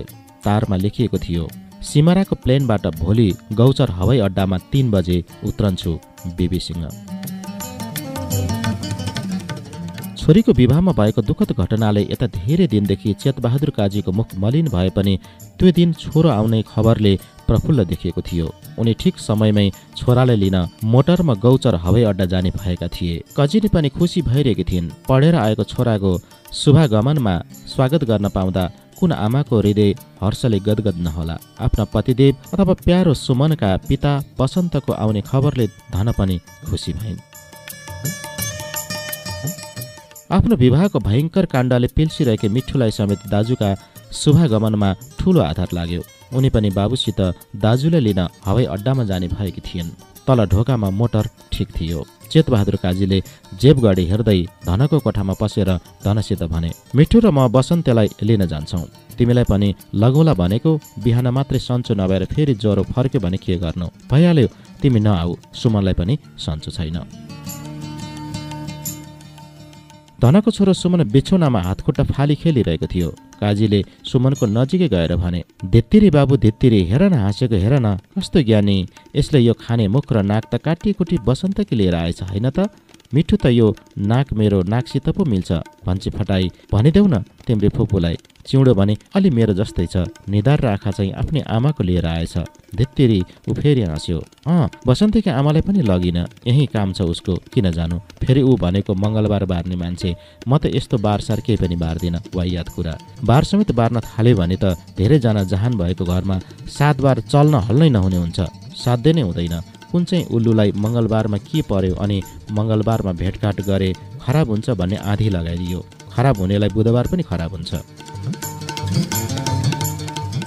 बसन्तले राज्यभिषेक देख्न पाएन अघि। राज्यभिषेक प्रदर्शन त हेरिहाल्छ नि। हेर हेर त्यो क्यालेन्डर अस्ति प्रदर्शनीबाट ल्याएको होइन। क्यालेन्डर त अङ्ग्रेजी नाम हो। हाम्रो यहाँ पात्रो भन्ने चलन छ। क्यालेन्डरलाई त पात्रो भन्नुभन्दा पनि पन्जिका भने राम्रो होला। अँ के गरेर राखेको त्यो तिमीले? बसन्तले देख्यो भने के भन्ला? लौ मिलाइहाल। अहिले नै लौ आजको गतिबार मिलाऊ। दिनदिनै गतिबार मिलाउनु पर्ने टेबुल क्यालेन्डर राम्रो देखेर काजीले प्रदर्शनीमा धनलाई किनिदिएका थिए। टेबुलमाथि त्यो त्यसै राखिएको थियो। धनले गतिबार केही मिलाएकी थिएनन्। काजीले भनेपछि धनले क्यालेन्डर मिलाएर गतेबार मिलाउन गते सम्झँदै थिइन्। काजीले फेरि भने लौ तिमीलाई त गते बारको सम्झना पनि रहेनछ। भयो कि अब? सके साल र महिना पनि थाहा छैन कि कसो। त्यसै भएर नै हामीलाई पात्र चाहिएको। लौ मिलाऊ हामीले विक्रम सम्बतको साल राख्नुपर्छ। साल भनेको वर्ष ल राख पहिले दुई हजार तेह्र। त्यो साल भयो अनि ज्येष्ठ राख। हो त्यो महिना भयो। आज कति गते थाहा छ? लौ हिजो सङ्क्रान्ति भएपछि आज कति? हो दुई गते दुई राख अनि मङ्गलबार। हो भयो। के भयो? हेर आज सम्बत दुई हजार तेह्र साल ज्येष्ठ दुई गते मङ्गलबार। भयो बुझ्यौ? हो भोलि पनि यही किसिमले बिहान उठ्ने बित्तिकै मिलाउनु। बिहान बिहान सधैँ मिलाउने गर्नु। लौ त हामी गयौँ। अब एक घन्टामा सुमनेको बाबुलाई यहीँ ल्याइदिउँला। बस है। मिठु ए मिठु ल हिँड। मिठु तयार भएर बाबुलाई पर्खिरहेकी थिइन्। मिठुसहित काजी चेतबहादुर सिंह बसन्तले लिन गौचर हवाई अड्डामा पुगे। तिन बज्न पाँच मिनट जति बाँकी नै थियो हवाई अड्डामा आफ्नो आफ्नो मान्छेलाई लिन आउने अरू मानिसहरू पनि घडी हेर्दै उभिरहेका थिए। सबैमा प्रतीक्षाको एउटै भावना थियो। ज्येष्ठ महिनाको तेस्रो प्रहरको सूर्यको प्रखर तेजले तातेर हवाई मैदान नै धप्प बल्ला जस्तो भान हुन्थ्यो निकै गर्मी थियो। ठिक तिन बजे माथि आकाशमा दक्षिणतिरबाट हवाई जहाज घन घनाएर आयो। हवाई जहाजमा भिटिडिए भन्ने अङ्ग्रेजी अक्षर थिए। हवाई जहाज एक चक्कर खाएर उत्तरतिरबाट हवाई मैदानमा ओर्लेर वायु वेगमा दक्षिणतिर हुइकिँदै आइरहेको थियो। उपस्थित मानिसहरूले हवाई मैदानको बार बाहिरबाट हवाई जहाजको झ्याल झ्यालमा देखिएका मानिसहरूलाई हात हल्लाएर स्वागत गरे। आफ्नो आफ्नो मान्छे चिनेर हो वा आफ्नो मान्छेलाई आफै चिनाइन हो कसैले त उह मुमा भनेको पनि सुनियो। काजीसँग बारमा उभिरहेकी मिठुले पनि हुइकिरहेको हवाई जहाजतिर औलाउँदै भनिन् ऊ ऊ दाजु हवाई जहाजको बेगले कुइरी मण्डल लगाएर हवाई मैदानको धुलो बङ्ग उडिरहेको थियो। आश्चर्य हवाई जहाज अडेन। त्यो वायु बेगले दक्षिणतिर हुइकिएर गुडेको गुडै फेरि उड्यो। मानिसहरू आश्चर्य मानेर कराए उड्यो फेरि उड्यो किन उड्यो उड्यो? सारा उपस्थित मानिसहरूलाई आश्चर्यचकित हुने सिवाय कुनै कुराको विचार गर्ने मौका नै भएको थिएन। हवाई मैदानमा नरोकिएर फेरि उडेको त्यो हवाई जहाजको देब्रे पङ्खा। हवाई मैदानकै मुनतिरको एउटा बकैनाको बोटमा जोडले ठक्कर लाग्दा बकैनाको बोट भाँचिएर ठुलो आवाज आयो गड्याम्म! पृथ्वी कम्प भयो। भुइँचालो गए जस्तै हवाई अड्डा नै डगमगाएर हल्लियो। त्यो गड्याम्म शब्दका साथ बिजुली चम्के जस्तै मिलिक्क के भएको थियो? आकाशको आकाशै हवाई जहाज दन दनाएर बल्यो। बलिरहेको त्यो हवाई जहाज त्यहीँको एउटा घरमा घस्रिँदै घरलाई चक्राचुर गराएर त्यहीँनिरको खेतमा खसेर महा श्मशान बले जस्तै बल्न थाल्यो। चारैतिरबाट मान्छेहरू अत्तासिएर कराउँदै दौडे जताततैबाट हाहाकारको आवाज आइरहेको थियो। ए बल्यो बल्यो ए खस्यो खस्यो दौड दौड बचाओ बचाओ! अभिराम गतिले सङ्कटकालीन घन्टी बजाउँदै दमकल दौड्यो। आकाशै जलाउँछु भने जस्तै गरी काला नलको सुनौला सुन्तले ज्वाला फ्याँकी फ्याँकी उग्र रूपले हवाई जहाज जलिरहेको थियो। पड्याक र पुडुक शब्दले चरु पड्किरहेका थिए। भयभीत भएर कागको बथान कराउँदै उडिरहेको थियो। जलिरहेको त्यो हवाई जहाजको ढोका बन्द थियो। तिनजना चालकहरू अगाडिबाट हाम फाले केही मानिसहरू प्राण बचाउन जलिरहेको हवाई जहाजको झ्यालझ्यालबाट हाम फाले तापनि मान्छे डढेको चर्को खार उडिरहेको थियो। केही बेरपछि दमकलले हवाईजहाजको आगो त निभायो तर त्यो डढेर कालो भएको जहाजको शरीर नै छिन्न भिन्न भएको थियो। एकातिर पङ्खा अर्कोतिर ढाड कतै पुच्छर त कतै के। जताततै तमासे मान्छेहरूको ठुलो भिड लाग्यो। मानिसहरूले त्यो मृत हवाईजहाजको ढोका उगारेर हेरे। हवाईजहाजभित्र मान्छेका लासै लास थिए। लास थिएनन् केवल आगोले काला भएर नझिल्सिएर पिल्सिएका लासका काला ठुटा मात्र थिए। काला मुडा मात्र। सब मुर्दा हवाईजहाजबाट बाहिर झिकेर लडाइए।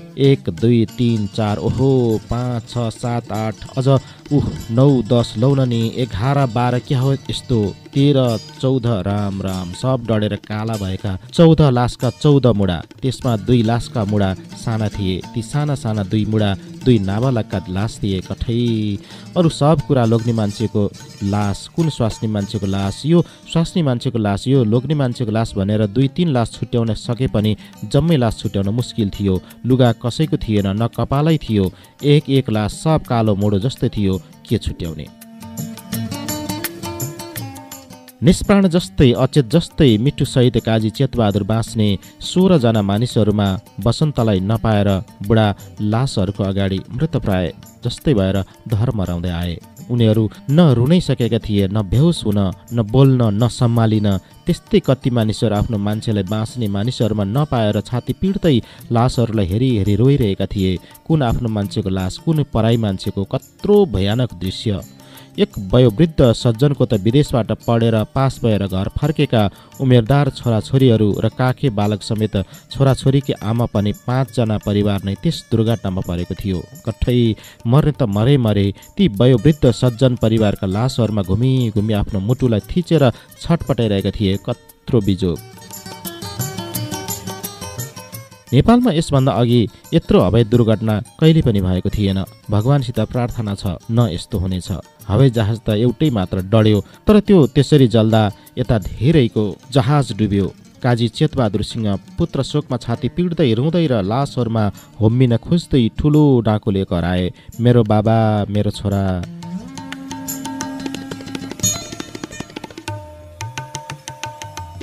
काजी बेहोस जस्तै भएर लासहरूमाथि ढल्नै आँटेका थिए। उनलाई धेरै अपरिचित बुजुर्गहरूले समातेर सम्झाए। मरे त मरे मरे बाँच्नेले आफ्नो कर्तव्यको निमित्त यसरी धैर्य छोड्नु हुँदैन। उही पनि के तपाईँले आफ्नो छोराको लास चिन्नु भएर लास नचिनेर किन यसरी धैर्य छोड्नुहुन्छ? यहाँ त मान्छेको चौध चौधजना छोराछोरी परे। हेर्नुहोस् यी सबै तपाईँका छोरा जस्तै होइनन्। किन तपाईँ आफ्नो छोरालाई मात्र छुट्याउनुहुन्छ? तपाईँको छोरा यो हवाई जहाजमा आउँदै नआएका भए नि। अझ आशा राख्नुहोस् बरु भगवान्सित यसै होस् भनेर प्रार्थना गर्नुहोस्। त्यो हवाईजहाज सिमाराबाट उडेको थियो। त्यसैले मानिसहरूले सिमारा हवाई अड्डाबाट यात्रीहरूको सङ्ख्या र नामावली समेत मगाए। नामावलीमा हवाई यात्रीको सङ्ख्या तिस थियो जसमा बाँच्ने सोह्र र मर्ने चौध भएर मिल्यो। लासबाट नछुटिए पनि त्यस नामावलीको लगतबाट यति स्वास्नी मानिस यति लोग्ने मानिस र यति नाबालक भनेर पनि छुटियो। काजी चेतबहादुर सिंहको निमित्त नामावलीबाट बिबी सिंह नाम पनि फुटियो। उनले हिजो आफूलाई बिबी सिंहले पठाएको तार पनि भिडाएर हेरे। त्यसबाट पनि तार पठाउने बिबी सिंहको नाम समेत तारको महिना गति बार र समय पनि सब मिल्यो सबले प्रश्नसित यो लास यो मान्छेको हो भनेर नचिने पनि अन्दाजै अन्दाजबाट दोस्रो र तेस्रो दिनसम्ममा आफ्नो आफ्नो मान्छेको लास छुट्याउँदै पुनः दाह संस्कार गर्ने काम गरेर खरानी तुल्याए।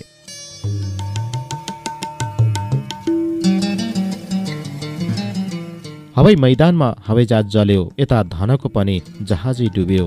मान्छेको जात जस्तो सुके आपत विपद र सङ्कष्ट पनि सहनै पर्ने धन विधवा भइन्।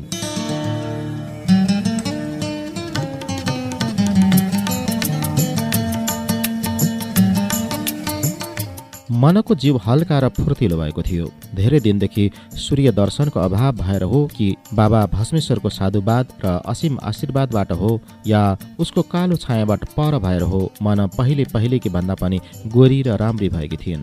धेरै दिनसम्म बदली भएर झलमल्ल घाम लागे जस्तै उनको चन्द्र बदन ज्यादै कलकलाउँदो किसिमको कोमल र तेजपूर्ण भएर शरद चन्द्र जस्तै चम्किरहेको थियो।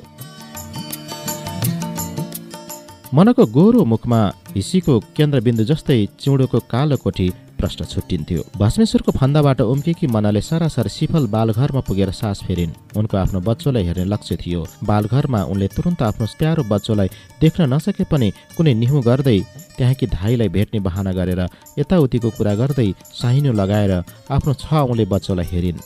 बच्चोलाई लिने त उनको सामर्थ्य भएन यद्यपि उनलाई अलिकति सन्तोष लाग्यो। धाइसित सम्बन्ध जोडिएकोले बराबर बच्चाले हेर्न जाने उनले एउटा राम्रो बाटो बनाइन्। घाँस र बाँसको निम्ति मात्र उनको चिन्ता थियो। कुनै इलम गरेर घाँस र बाँसको एउटा बन्दोबस्त भएपछि आफ्नो प्यारो बच्चालाई पनि बालघरकी धाइसित मागेर लिने उनले अठोट गरेकी थिइन्। त्रिपुरेश्वर भवनाथको घरमा छँदा दुई चारजना बाहिरका स्वास्नी मानिस र बजेको कुरा मनको कानमा परेको थियो।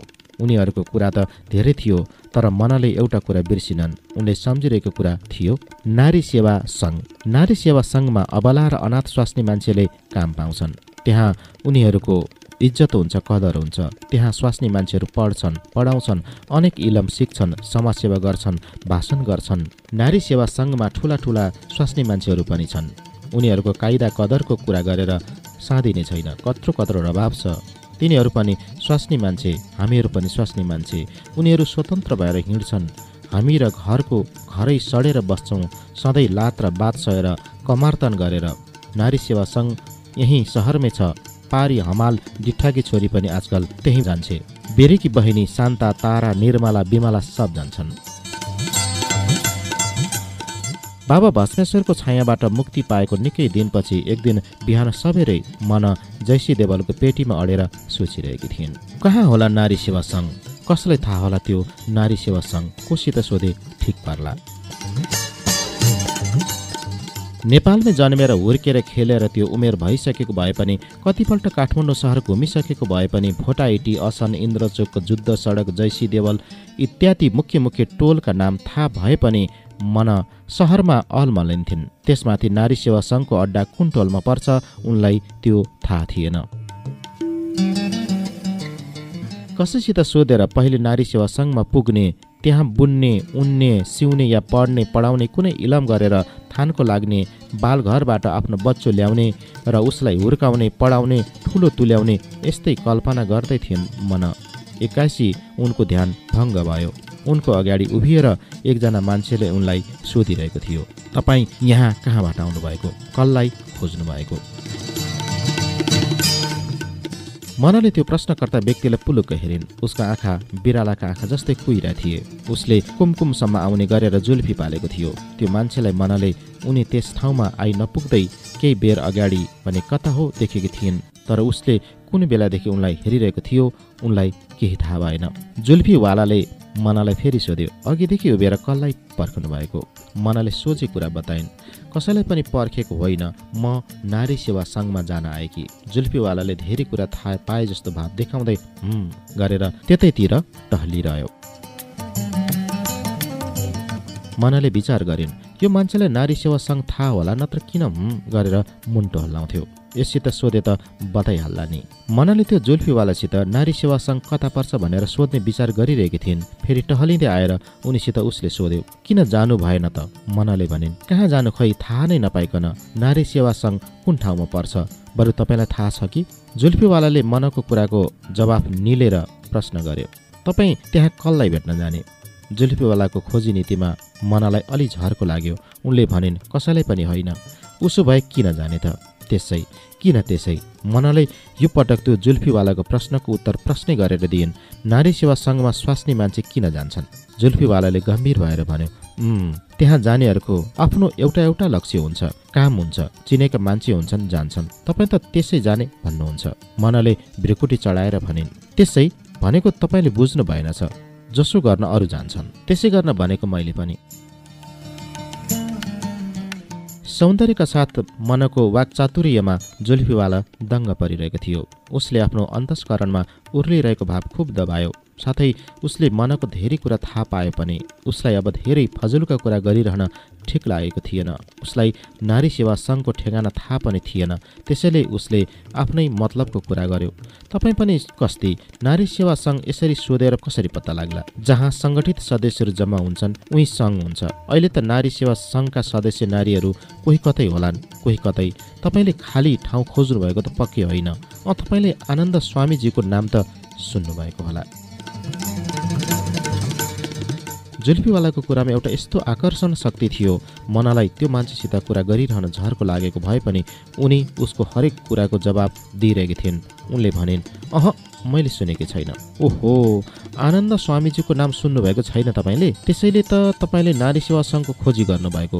स्वामीजीलाई बोल्ने पशुपतिनाथ सम्झनुहोस्। दयाको अवतार ज्ञानको भण्डार देन दुखीको आधार जसले स्वामीजीको एकपल्ट दर्शन गर्छ उसको सारा दुःख रोग विघ्न बाधा र मनको क्लेश पनि हरण हुन्छ। म त उहाँको एक भक्त हुँ। उहीँ जाँदैछु। तपाईँलाई? मनले उत्तेजित भएर भनिन् मलाई यस्तो कुरामा विश्वास लाग्दैन। तपाईँलाई कस्तो कुराको विश्वास लाग्छ त? मलाई आफ्नो कामको विश्वास लाग्छ इलमको विश्वास लाग्छ सत्यको विश्वास लाग्छ। स्वामी भक्तले आफ्नो सत्ता प्रदर्शन गरेर भन्यो अल्प विद्या भयङ्करी तपाईँले भने जस्तै तपाईँ आफ्नो कामको इलमको सत्यको विश्वास गर्नुहुन्छ ठिक हो तर तपाईँको काम इलम र सत्यको प्रेरणा आधारमा सम्बन्धमा अथवा मूलमा असत्य छ धोका छ भने नि। आत्मविश्वासमा असत्य पनि सत्य हुन्छ। आत्मविश्वास गर्दामा विष अमृत हुँदैन आगो हिउँ हुँदैन खोलो मासतिर बग्दैन। त्यो गर्ने आत्मविश्वास होला हुने आत्मविश्वास होइन। स्वामी भक्तले बहसमा टेको हाल्यो। तपाईँको आत्मविश्वासमा धोका हुँदैन त? मनले टिपिन्। आत्मविश्वासमा सन्देह भए हुन्छ किन हुँदैन? स्वामी भक्तले मूलमा ओर्लिन बहसमा शाखा हाल्यो नारी सेवा सङ्घमा तपाईँको कुनै सन्देह छैन त? मनको वाक चातुर्यले यथार्थकै पक्ष लिएर अड्डी जमाउँदै पछिल्लो वाक्यबाट विजयको शान देखायो। मलाई नारी सेवा सङ्घ छ भन्ने कुरामा सन्देह छैन। त्यो कस्तो छ भन्नलाई अहिले म त्यहाँ गएकै छैन। तपाईँलाई नारी सेवा सङ्घ थाहा नभए भइहाल्यो। जानुहोस्। तपाईँ आफ्नै स्वामीजीको ज्ञान सुन्न म अरूसँगै सोध्छु। स्वामी भक्तले फेरि गम्भीर हुँदै कुराको पेच घुमाएर ढेम्री कस्यो। जोसँग सोधे पनि आखिर तपाईँले नारी सेवा सङ्घका स्वामीलाई त सोध्नुपर्छ। मनाले आश्चर्य मानेर सोधिन् नारी सेवा सङ्घमा स्वामी को? कहाँ हुनुहुन्छ? स्वामी भक्तले शब्दजाल फ्याँकेर मनालाई छोप्न खोज्यो। स्वामीजीको कुरा गर्दा अघि तपाईँलाई विश्वास लाग्दैन भन्नुभयो। स्वामीजी को अब? जोसित सोध्नुहुन्छ सोध्नुहोस्। आज आनन्द स्वामीको नाम नसुन्ने मान्छे यो सहरमा बिरलै होलान्। स्वामी महाराजको आश्रम हाल यहीँ नजिकै छ। सहर बाहिर पवित्र स्थानमा स्वामीजी नै आज कति ब्रह्मचर्याश्रममा अध्यक्ष हुनुहुन्छ सञ्चालक हुनुहुन्छ सभापति हुनुहुन्छ प्रभु मालिक र स्वामी हुनुहुन्छ कति पाठशाला संस्था र गौशालाहरू उहाँकै अनुग्रहबाट चलिरहेका छन्। आज स्वामीजीको अनुकम्पाबाट कति बे इलामीहरू इलम र उद्योग गर्दछन्। तपाईँ जस्तै कति अबला स्वास्नी मान्छेहरू उहाँको ब्रह्मचर्याश्रममा ब्रह्मचारिणी भएर नियम संयमले इन्द्रिय निग्रह गर्दै भगवत भजन गरेर शान्तिमय जीवनयापन गरिरहेका छन्। अब यस्ता धर्मका अवतार स्वामीमाथि पनि कोही वितण्डवादी अज्ञानवश अविश्वास प्रकट गर्छ भने त्यो त आफ्नो मतिको कुरा हो आफ्नै गतिको कुरा हो। नर्क नभए स्वर्ग कसरी हुनु? स्वामी भक्तले शब्द जालको डोरो तानेर आफ्नो कदम बढायो। उसको कुरामा बसीभूत भएर मनको हृदय अत्यन्त चञ्चल भइरहेको थियो। अलिकति अगाडि बढेर मनले भनिन् नारी सेवा सङ्घमा स्वामीजी भनेर अघि तपाईँले केही पनि भन्नु भएन अरिनु कुरा गर्नुभयो। स्वामी भक्तले बडो गम्भीर भएर हिँड्दै भन्यो पहिले अलिकति मान्छेको उद्देश्य नै नबुझेर कसैले पनि केही कुरा बताउँदैन। यो पनि मैले सबै कुरा बताएको होइन बताएर साध्य नै छैन। आफ्नो अनुभाव बताउने आफ्नो नियत पनि छैन। यो त कुरै कुरामा निस्किएको कुरा हो। स्वामीजी पनि कसैसँग आफ्नो बयान गर्नुहुन्न। जो कोहीसित कुरा नै गर्नुहुन्न उहाँ स्वयं अन्तर्यामी हुनुहुन्छ। यद्यपि उहाँको अनुकम्पा भएको भक्तमा परीक्षाको निमित्त एकाध प्रश्न गर्नुहुन्छ। स्वामी भक्तको कुराले मन ज्यादै अधीर भइरहेकी थिइन्। उनमा आफ्नो कुराको प्रभाव परेको उनको भाव विचार गरेर स्वामी भक्तले फेरि भन्यो लौ त देवीजी मलाई बिदा दिनुहोस्। मनले स्वामी भक्तको पछि पछि स्वयं खिचिँदै भनिन् होइन उसो भए मलाई स्वामीजीले एउटा बाटोमा लगाइदिन सक्नुहुन्छ त? म नारी सेवा सङ्घमा बसेर इलाम गर्न पाउँछु त? स्वामी भक्तले भन्यो स्वामी महाराज जे पनि गर्न सक्नुहुन्छ तर पात्र हेरेर उहाँसँग कसैले म यो इलम गर्छु भन्नु पनि पर्दैन। उहाँका आश्रयमा जाने भक्तहरूलाई उहाँले ज जसलाई जुन मार्गमा लगाउनु पर्ने हो लगाइदिनुहुन्छ। रोगीलाई रोग हेरेर औषधि दिनुहुन्छ भोका नाङ्गालाई भोजन र वस्त्र। तर उहाँसँग भक्तहरूले सत्य बोल्नै पर्छ। मनले भनिन् ल त म पनि स्वामीजीको दर्शन गर्छु। बाटोमा स्वामी भक्तले मनसँग जे जे प्रश्न गर्थ्यो मन त्यसको समुचित उत्तर दिँदै गइरहेकी थिइन्। मनको हृदयमा ठुलो अन्तर्द्वन्द्व भइरहेको थियो। स्वामी भक्तको पछि पछि उनका कदम अगाडि बढिरहेका र उनी नारी सेवा सङ्घको कल्पनामा उडिरहेकी थिइन्। त्यसैले बिचबिचको प्रश्नोत्तरमा उनले स्वयं बके जस्तै स्वामी भक्तलाई के के बताइरहेकी थिइन् उनलाई पनि ख्याल रहेन। स्वामी भक्तले फेरि नजानिदो किसिमले प्रश्न गर्यो तपाईँ विवाहित हुनुहुन्छ क्यार? मनाले भनिन् मेरो सानो एउटा बच्चो छ। बच्चो घरमै होला। मनाले सोझै बताइन् बाल घरमा तपाईँको घर छैन। सौन्दर्यकी प्रतिमा मनाले देखेर स्वामी भक्त मन्त्रमुग्ध भएको थियो। सौन्दर्यको साथै यिनमा सुन जत्तिकै खँदिलो पनि पनि छ भन्ने कुरा स्वामी भक्तको विचारले निर्णय गरेको थियो।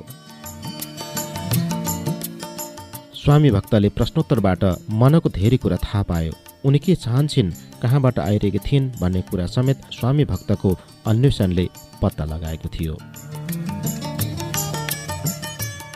विष्णुमती पारी एक सुरम्य स्थानमा ढुङ्गे पर्खालले परिवेष्टित ज्यादै मनोहर पुष्प बाटिकाको बीच पुरानो किसिमको एउटा चौघडे भव्य मन्दिर थियो। हाम्रो त यहाँ घर भन्ने चलन छ।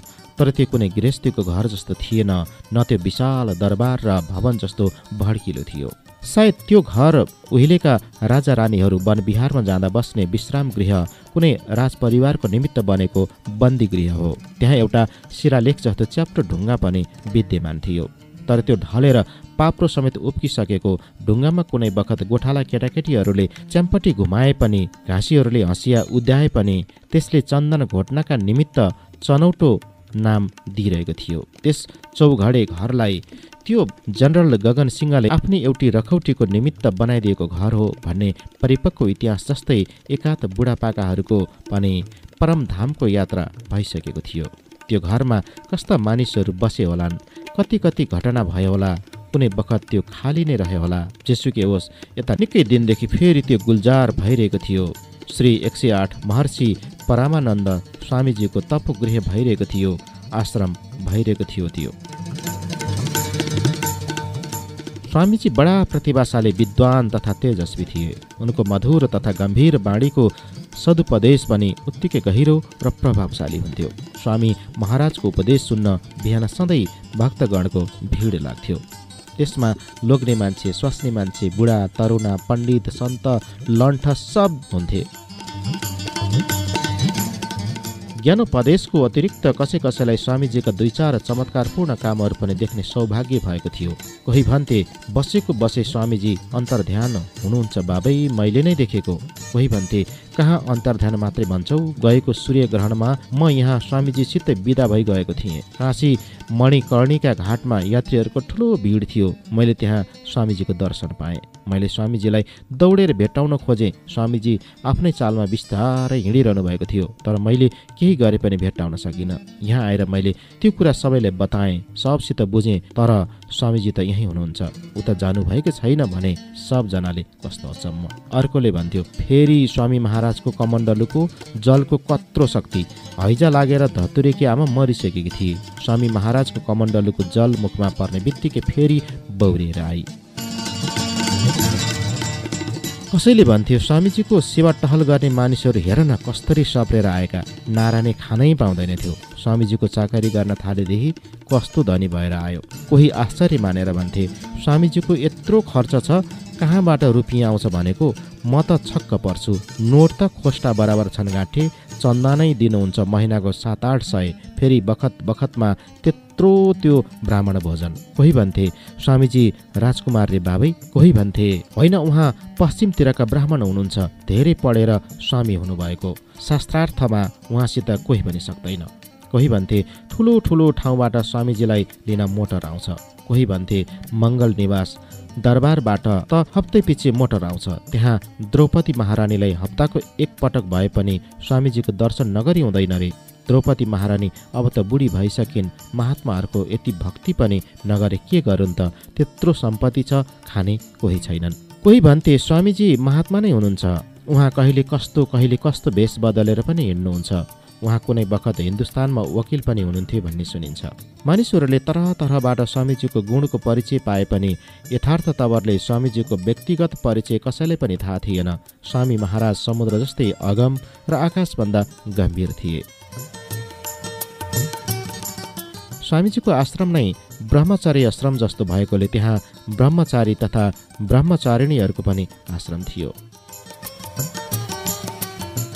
पूर्व मोहडा भएको आश्रमको ठिक ढोका अगाडि दलानमै फुलमालाका लर्कनले सुसज्जित तथा धुप दिब्बादीको सुवासयुक्त मञ्चबाट पूर्व मोहडा नै गरेर स्वामी महाराजको प्रवचन हुन्थ्यो। मञ्च अगाडि बायाँपट्टि श्रोत्री वर्ग स्वास्नी मान्छेहरूलाई बस्नका निम्ति तेर्सो परेर बनेको टहरो थियो।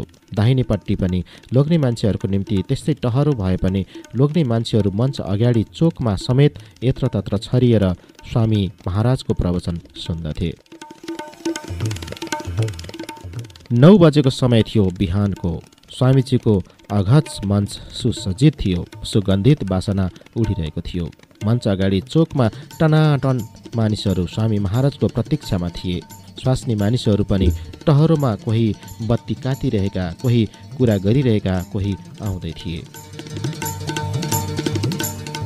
आश्रमनिर पुगेर स्वामी भक्तले मनलाई स्वास्नी मान्छे बस्ने टहरो देखाउँदै भन्यो स्वामीजीको प्रवचनको बेला भयो। तपाईँ पहिले त्यही टहरोमा बसेर स्वामीजीको प्रवचन सुन्नुहोस्। प्रवचन समाप्त भएपछि स्वामी महाराजसित आफ्नो दुःख दर्द बिन्ती गर्नुपर्ने मान्छेहरू बस्छन्। अरू सब जान्छन्। तपाईँ पनि त्यही बेलामा स्वामी महाराजसित जे भन्नुपर्ने भन्नुहोला। स्वामी भक्त अन्तर्ध्यान भयो। पवित्र स्थानको शुभागमनले हो कि मनको हृदय आश्रमको पुष्प बाटिका जस्तै प्रफुल्ल भयो। आफ्नो घुम्टी ओह्रालेर उनी प्रवचन सुन्ने स्वास्नी मानिसहरूको पङ्क्तिमा गएर मिलिन्। एकैछिनपछि सारा उपस्थित मानिसहरू भरर र शब्दले उठे। यता स्वास्नी मानिसहरूले पनि उठ्दै मञ्चतिर नमस्कार गरेको देखेर मनाले पनि सबैसँग उठेर मञ्चतिर हात जोडेर प्रणाम गरिन्। गम्भीर गतिमा आश्रमको ढोकाबाट स्वामी महाराजको पदार्पण भइरहेको थियो। स्वामीजीको उमेर अन्दाजी चालिसको भए पनि उनको तेजले उनी भर्खरका जस्ता देखिन्थे। पुष्ट भाल कमल नेत्र सुडौल आकृति मेघ वर्ण उच्च कद भव्य मूर्ति अनुपम व्यक्तित्व झल्किरहेको थियो स्वामीजीको पाउमा खराउ सेतो धोती र बहुमूल्य पिताम्बरमा सुशोभित तेजस्वी मूर्ति स्वामी महाराजको दर्शनले श्रद्धालु भक्तजन अपूर्व भक्तिले गदगद भइरहेका थिए। सर्वप्रथम पट्टलबन्द स्वामी महाराजबाट गम्भीर र लयदार बाणीमा एक श्लोक मन्त्रोच्चारण भयो। उपस्थित वर्ग सब मन्त्रमुग्ध भएर मञ्चमा पद्मासन जमाएर विराजमान हुँदै स्वामी महाराजबाट मुसुक्क हाँसेर सबैलाई हातको इसाराले बस्न आज्ञा भयो। सब बसे मन पनि बसिन्। स्वामी महाराजबाट उपस्थित श्रोत्री वर्गतिर कटाक्षी भएर दुई तिन व्यक्तिले सम्बोधन गर्दै आदेश भयो। कसो त रामकृष्ण? भन्नुहोस् पण्डित गङ्गाधरजी अहो आज त विश्वेश्वरजी पनि आउनुभएछ। लौ भन्नुहोस् आज कुन विषयमा बोलौँ? सम्बोधित व्यक्तिहरू अनुशासनपूर्वक उठेर हात जोड्दै जो निघा भन्ने भाव देखाइरहेका थिए। स्वामीजीले पुनः आदेश भयो। हाम्रो हिन्दू धर्ममा नारी र नारी धर्मको ठुलो महत्त्व छ। आज त्यही विषयमा केही प्रवचन गर्ने हो कि? तर श्रोत्री अभिरुचिको कुरा हो। श्रोती वर्ग जे भन्छ श्रोत्री वर्गको तर्फबाट ससम्मान अनुरोध भयो। आज स्वामी महाराजबाट हामीलाई नारी र नारी धर्मकै विषयमा उपदेश होस्। पुनः मुसुक्क हाँसेर शान्त र गम्भीर बाणीमा जोरदार शब्दले स्वामी महाराजबाट प्रवचन सुरु भयो। नारी महामाया महाशक्ति जगदम्बाकी अवतार हो जसबाट संसारको सृष्टि र स्थिति हुन्छ। नारी नै पृथ्वीको रूप हो नारी नै राज्य लक्ष्मी गृहलक्ष्मी र गृहस्थीको घरबार हो आधार हो। संसारको जुनसुकै धर्ममा जुनसुकै शास्त्र र पुराणमा नारीको ठुलो स्थान र ठुलो मान छ। नारी नभए संसार शून्य हुन्थ्यो। अब नारी अर्थात् आमा नै नभए पनि मनुष्यको उत्पत्ति भएर संसार आबाद भएको एकछिन मिथ्या कल्पना गरेर सम्झे पनि नारी बिना मनुष्यको उद्योग र उन्नति हुन त असम्भवकै विषय हुन्थ्यो। असम्भवम हेम मृगस्य जन्म। पृथ्वीको गुरुत्वाकर्षण जस्तै सृष्टि स्थित्यन्तकारिणी नारीको पनि पुरुषहरूमा ठुलो आकर्षण छ जुन आकर्षण शक्तिले नथिँदै पुरुषहरू मेसिन अथवा कठपुतले जस्तै भएर अनेक अनेक उद्योग उन्नति गर्दछन् घर खेती समाज र राष्ट्रको निर्माण गर्दछन् समाज धर्म अर्थ र राजनीतिको सिर्जना गर्दछन् त्यसमा पर्ने विघ्न बाधाको निमित्त मानिसहरू क्रान्ति गर्दछन् सङ्घर्ष क्षेत्रमा उत्रन्छन् युद्ध र महायुद्ध समेत गर्दछन्। त्यसका लागि हजारौँ किसिमका शस्त्र र अस्त्रको निर्माण हुन्छ। युद्धपछि पुनः मनुष्यहरू शान्ति मार्गको अन्वेषण गर्दछन्। यसरी संसार चक्र चलेको छ। यसको एक मात्र हेतु हो नारी शक्ति। पुरुषको प्रकृति नै नारी नारी नै प्रकृति जसबाट मनुष्य पैदा हुन्छ जोसँग भुलेर जीवन बिताउँछ। दृष्टान्तमा नारीकै कारण श्री रामचन्द्रको वनवास भयो नारीकै कारण राम र रावणको युद्ध भयो रामायण बन्यो। यो भयो नारी शक्तिको कुरा। अब यस्ता शक्ति रूपिणी जगदम्बा नारीका धर्मको विषय नारी धर्म भनेर शास्त्रमा ठुलो ठुलो उल्लेख छ। यस्ता कस्तुबमणी जस्ता नारीलाई धर्मशास्त्रले सुरक्षित राख्दछ नारी धर्ममा। सरल सुमधुर गम्भीर बाणीमा स्वामी महाराजको प्रवचन गम्किरहेको थियो। ज्ञानोपासक भक्तजनहरू प्रवचनको रसास्वादन गरिरहेका थिए झुलिरहेका थिए। सारा मानिसहरू प्रवचन सुन्नमा यति तल्लीन थिए यति शान्त थिए घन्किरहेको प्रवचनको वाक्यको पूर्ण विराममा सभास्थलमा कसैले सियो खसालेको भए पनि सियो बजेको छ्यान्द्रङ्ग आवाज सुनिन्थ्यो होला।